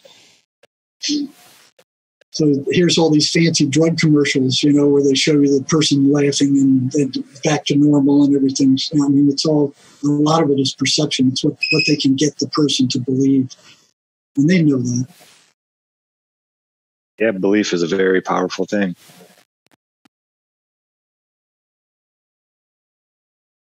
Indeed, it is. Unfortunately, I did experience that too many times with my mother. I would go over there to Oregon and get her off of a handful, literally. Like once, there were 20 pills, 20 pills that she was Yeah. taking. And I got Yeah. her down to one in cannabis when I left Oregon. Good for you. She sat there in the chair and let the TV convince her she needed whatever and whatever. Yeah, yeah. And next thing, she's got seven or eight going, and then it's 10. And then it's like, well, they're going right back where you were if you keep Well, yeah, you, you look what they're doing. They're actually selling illness. You know, they come on and they go, if you have any of these symptoms, you know, you've got this thing, and we got the drug to treat it. You know, and it's like, yeah, everybody's got their symptoms. Yeah, you know, it's one thing after another after another. It's just a, a huge scam, and they're making a fortune doing it, and they're getting away with it, and they have such deep pockets. A lawsuit's nothing to them you know, oh yeah, yeah, we paid out a few million dollars here and there, but they're making they're making billions. You know, three point seven billion dollars a year just on antipsychotic drugs alone that don't cure anything, that that merely suppress psychotic symptoms because they got this psychiatrist trained in the schools. Brainwashed by the drug companies that this is the only treatment there is, and if you try anything else, you're whacking fool. Well, Jerry, let me ask you this. I mean, we're hitting the three hour mark. I don't want to keep you here all night. You've you've dealt with a lot. You've seen a lot. You've experienced a lot with this. Is, is there something that you would like kind of give to the folks who are listening, who may be dealing with this with family, with friends, with themselves, who don't know what to do? I mean, I know you're, you know, you can't diagnose somebody over the air. I'm just saying, as a general idea, obviously stay away from the freaking pharmacy industry, but where would you tell them to go? Where, what resources do they have to go to figure this thing out for themselves to help themselves through this? Well, uh, again, I think one of the one of the first places they should go to is uh, one of the many hearing voices groups that they're they're national and they're international. Um, and, and you could do a search on those. I know England has a number of them. We have a number of them here, where where people are able to speak about these things and they don't have to hold them in all the time and feel like freaks. You know, here's here's people that are suffering the same thing with the same kind of consequences and the voices are telling them the same bad things and, and they can they can actually release you know uh, some of that and they're not alone so so that would be number one if if you know, family support is huge. You know, if they don't have family support, and, and the voices are going to do everything possible to break the victim away from the family and their friends. But if that support breaks, their chances of recovering are much, much less. So they got to hang in there with them. If they don't know anything else to do, um, you know, get our book, visit our website. There's lots of things that can be done. There's there's different things that, that interfere with the pattern these voices run. Uh, but you have to take a stand against them. You can't just lay down and let them kick it. You have to fight back. You you have to say, uh, you know, I'm not going to deal with, with you. I'm, I'm going to fight back. I'm not going to. Are you familiar with hearing-voices.org? Is that one you know? No, It's just it's the first one that popped up when I did the search. I, I it seems pretty big, but usually you don't want to go with the first one. I just didn't know if you might know them offhand. Uh, no, I got, I got a, a listing of the one of the ones here in. Uh, Well, just get that to us. You don't have to worry about it right now on the show. Get it to us, and I'll make sure and include it in the show description so that anybody who is listening and looking for those sources, those resources, will have them noted we just- there. Just, do a search on hearing voices groups. So they're national, they're international, they're you know they're, they're Absolutely. Like I said, I see a whole list here. I just went with Yeah. the first one that came up. you know, there's there's plenty, and just get into one. Um, you know, if, if you don't know that these things are real, that that they are entities and they they suck negative emotion you. Anything that they tell you bad about yourself or anybody else, that's them. That's the negative voices speaking, and they hit everybody, not just not just schizophrenics. You know, they're more easily seen in schizophrenics, but they hit everybody. Anybody who loses their temper, that's them at work. Any, any negative thoughts you have about yourself or somebody else, that's them. It's not you. You know, people have to realize that not all their thoughts belong to them. They come from other places. And these things insert thoughts into your thought stream, and they sound just like your thoughts, but it's not your intention. And, and, and they hate loving relationships. They, they hate positivity. They, um, they're there. Just be aware they're there because they're not hallucinations like psychiatry tells you, and, and they have no research to back that whatsoever. They won't even listen to these patients who've been trying to tell them otherwise for two centuries. And they're just closed-minded, and, and, and schizophrenics just stop talking to them. You know, they give me the medicine and, and leave me out of here. You know, it, it's a spiritual battle. The medical system cannot fathom a disease or an illness that is this large that has no physical cause and has no physical cure. They just can't wrap their heads around something like that. They've been taught ever since you know Hippo- Greek days that there is a physical cause, there is a physical cure for everything, and that that physical cure lies in drugs. You know, how many how many cases of cancer have mysteriously disappeared? Um, you know, how many how many schizophrenics have been cured by using these uh, these tactics and, and and actually draining the voices until they were so weak they were non-existent. I mean, there are other cures than drugs, and they don't want that out. They do not want that out because they're free. This stuff is free. You, you do it yourself. You just, you know. Yeah, you can kinda- grow it in your backyard. You can go Yeah. find it in the woods. That's It's all right. There. That's right. They won't make any money off of that. They don't like that. You know, a free tour. They're making in three That was one of Rockefeller's big pushes when he figured out that he could sell, you know, pharmaceutical petroleum was to demonize the whole herbal backyard. My mom, my grandmother, all of them. We would go looking for things in the woods that would fix whatever, and all that went out the window. You know? Yep. Yep. They're, they're, Yeah, they're all quacks. They're all, you know, crazy, stupid deadbeats. That, that, you know, if they're not making money off it, they don't want anything to do with it. Yeah, the only four letter word I don't say is weed. Because every single one of the plants out there growing in your yard has a purpose and a use and is probably more nutritious than half the plants growing in your garden. The big, colorful, pretty ones with all that taste and flavor. Your dandelions, your sorrels, your clovers. These things are so good for you. Your there's there's a whole ton of them all across the country in different regions. You can find wild edible food that's probably growing in your yard. They don't want you knowing that either, do they? No, no, they'll give you something to kill it to make that Imagine, grass that you can't eat grow. imagine all the homeowners associations. Yeah. They found out that dandelion tea actually did something for COVID.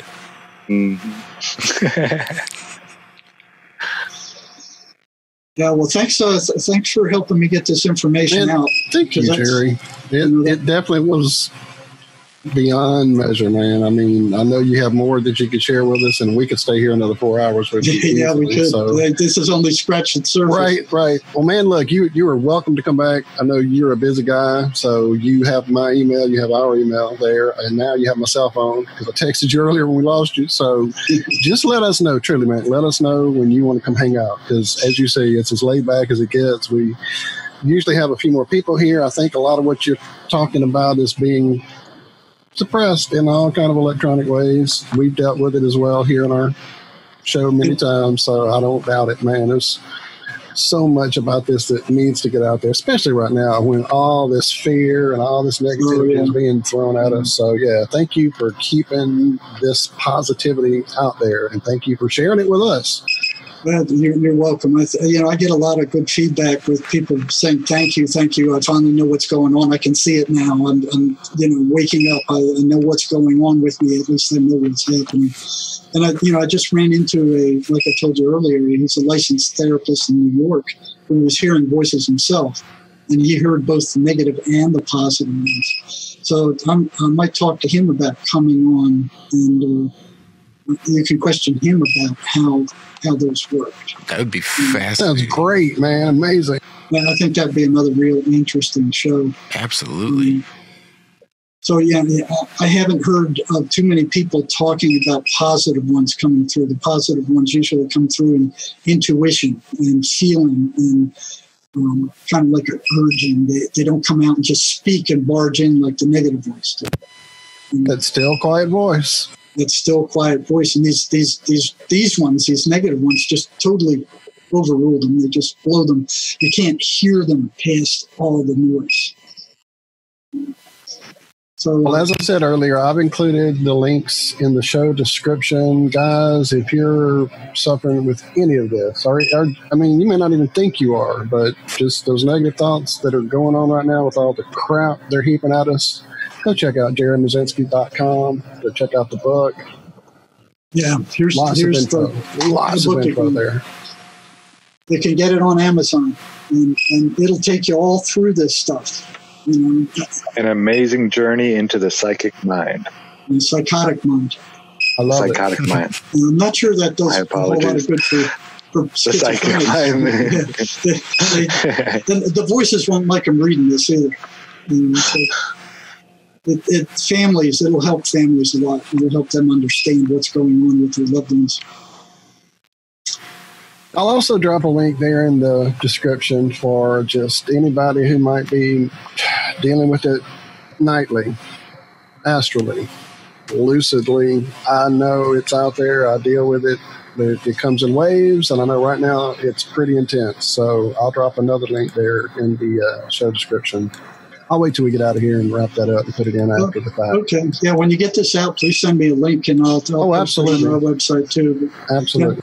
Thank you guys for having me. I really appreciate it. Thank No, you, Jerry, Jerry. thank It's been you. an absolute Thank you pleasure. so much, Jared. Yeah. And, and I'll talk to this other fella and, and see if he's he'll be willing to come on at some time in the future. Thank you, man. I'll keep my eye on the email. We are definitely, as you say, it takes us a minute to get to the email sometime, but we will definitely stay in touch. And you have my cell phone, so Okay. let us know. Thank you, Jerry. Thank you, Jerry Marzinsky, man. Thank you. Thank you. All right. You guys are welcome. Thanks All for having me. Anytime. All right. Bye bye. All right. Bye bye. Enjoy the rest of your weekend. You guys too. Oh, man, that was everything I hoped it would be. That was awesome. Wow. Just a so totally new insight into all of that. Right. That's what I was about to say. After so many years of dealing and seeing and experiencing and talking with people who deal and see and experience, and this guy was in the battlefield of it 35 years of like frontline. So it's very gratifying to know that it's getting out there in the uh, more academic levels, I guess. So, yeah. Amazing, amazing. Yeah, this was the guy in the trenches telling his story, not the general from the office telling you how the battle went, but from the guy down there in the mud, you know, covered in the worst things you can think of. The guy that went through that battle did 30, like in the worst places you could think of. That's where he hung out to meet these people so he could acquire this information and this knowledge. Right. And everybody in chat just saying thank you, Jerry. I was going to tell him you guys were all excited and thanking him, and we just got too excited telling him bye. So he'll see all that when he gets through the replay of the show. Love you guys in chat. It was amazing. Oh, I see. Uh, Jerry, is he flat? Well, no, not technically. However, we all had this idea. I think Zach said it first of maybe getting him to kind of look into this idea just to get a perspective of someone who's had all of his years of psychiatric psychiatric experience. Uh, Well, yeah, this has got to be something because it's doing it on such a mass, you know, right. that psychiatrists should be interested in this topic. I think the seed might have got planted earlier when we were talking about how John Science and- science yeah. and religion versus the pharmacology, yeah, that idea of the religion side of it. I, I think that may have been the first seed planted right there. So we'll see. We'll see what happens. For sure, he doesn't have to be flat to come over here and hang out with us and talk about this amazing topic. I love that we have Jerry Marzinsky booking guests for us now. How cool is and that? And now got a right a new avenue for more information. So, but yeah, I'd love love to see his take on this at some point in the future once we uh, have indoctrinated him. No, I'm being silly, but once he's had time to kind of really look at it, because I mean, just like anyone who's seeing this for the first time, you're like, what? Do you even know? You know, it, it's a knee jerk topic. We all know it. So. Well, we had Don and David on, and Right. it's one of those things that once you can ex- appreciate basically that everything you are taught fundamentally was either a lie or wrong or at least flawed in some way. And when you can go back and look at it just to try to verify that source information and realize, oh shit, none of that source information is there. Most of it's gone and not even it doesn't exist. At best, it's all just made up or just ignored. Oh, this is the source information, but guess what? Nope. We're just gonna completely turn it on its head and run with it in the other direction. Turns out ionospheres are cool. Uh, I'll get more into that for sure. Zach, it's three hours, 13 minutes, dude. You- I am ready. Yeah, I'll open this top to top on this thing right now. Let's see what we got here. All right, so this is like the bonus. If there's ever been a bonus feature for an amazing episode, this is it. I'm like I feel like the kid that's been waiting all day for the freezer pops. I'm ready. I don't know. I don't know if I should do it real fast so I can get a good view of it, or do it slow so the atmosphere doesn't disturb it too much. I don't know. So Do I'm it just gonna medium. open it fast. Do it. Okay, Do it. I'll do it midway. oh, it's already. Ta-da! Ooh. Never mind. Nothing. And a little sphere, hemisphere in there. Oh, I'm gonna have to do it only at a few hours. I'll do it again next week so we can try and. Yeah, Yeah. it does. Um, kind of arc up in there though. No, I Can't do really see, see a it. little It's so foggy. Yeah, I see the clear spot, uh, like right as you angle it. I see it right above the magnet, but it's Yeah. not like. Wasn't it more egg-like when you did it and showed it to John? Yeah, when I yeah when I only did it a few hours, it was way more. I did it like three or So four. maybe hours. those gases start compressing enough from the cold. Or those are stars right there. Frozen bubbles of something. A lot of those. I don't know. I'll have to. Uh, I'm gonna put it back in the freezer for now. Frozen bubbles of better luck next time. Yeah. wah wah wah.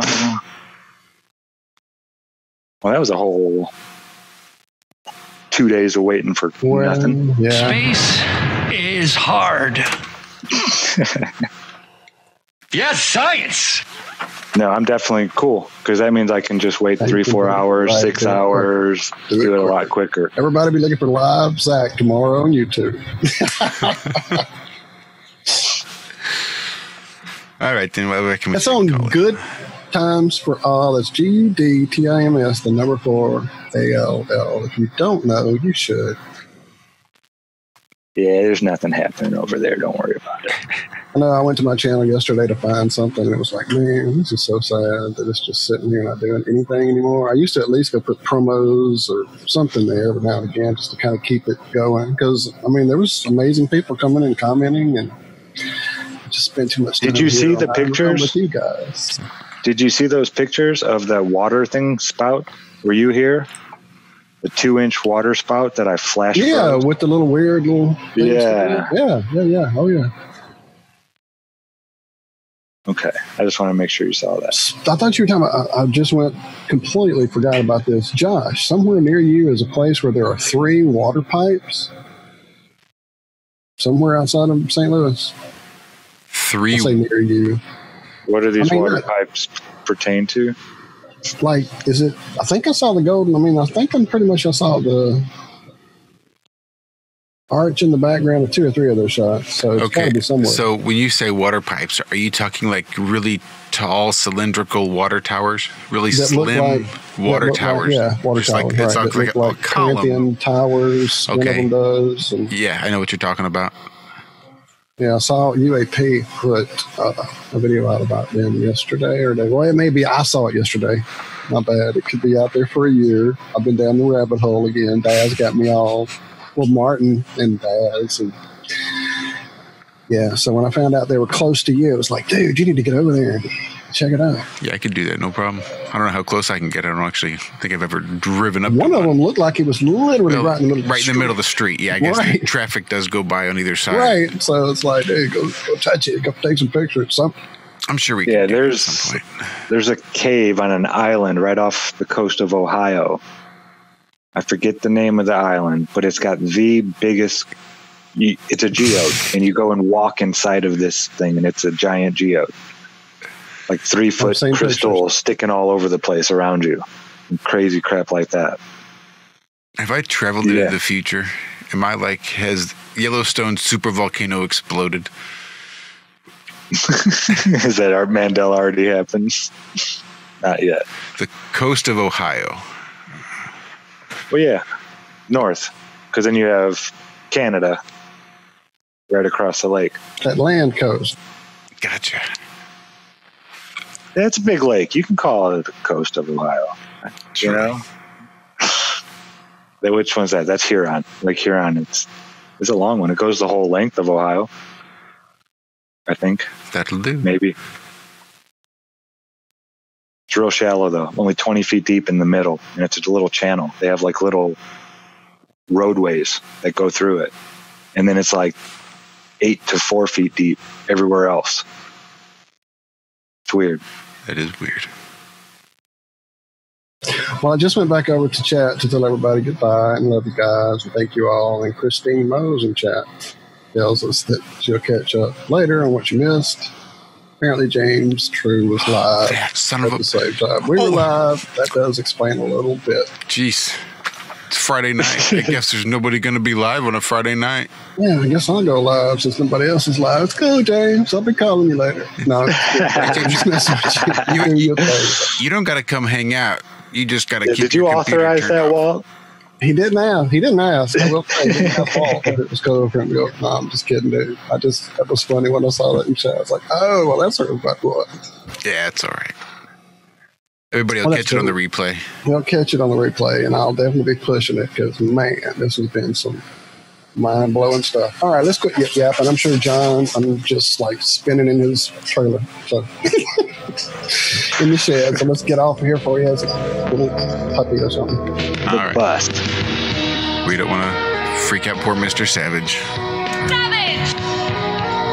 Love y'all. Again, Jerry Rosinski, thank you, thank you, thank you, brother. Come back, and we can't wait to get in touch with your friend whose name's already gone because I didn't write it down and it was just too much excitement. But please get in touch with us. You have our email and you have my telephone. So, thank you, everybody in chat.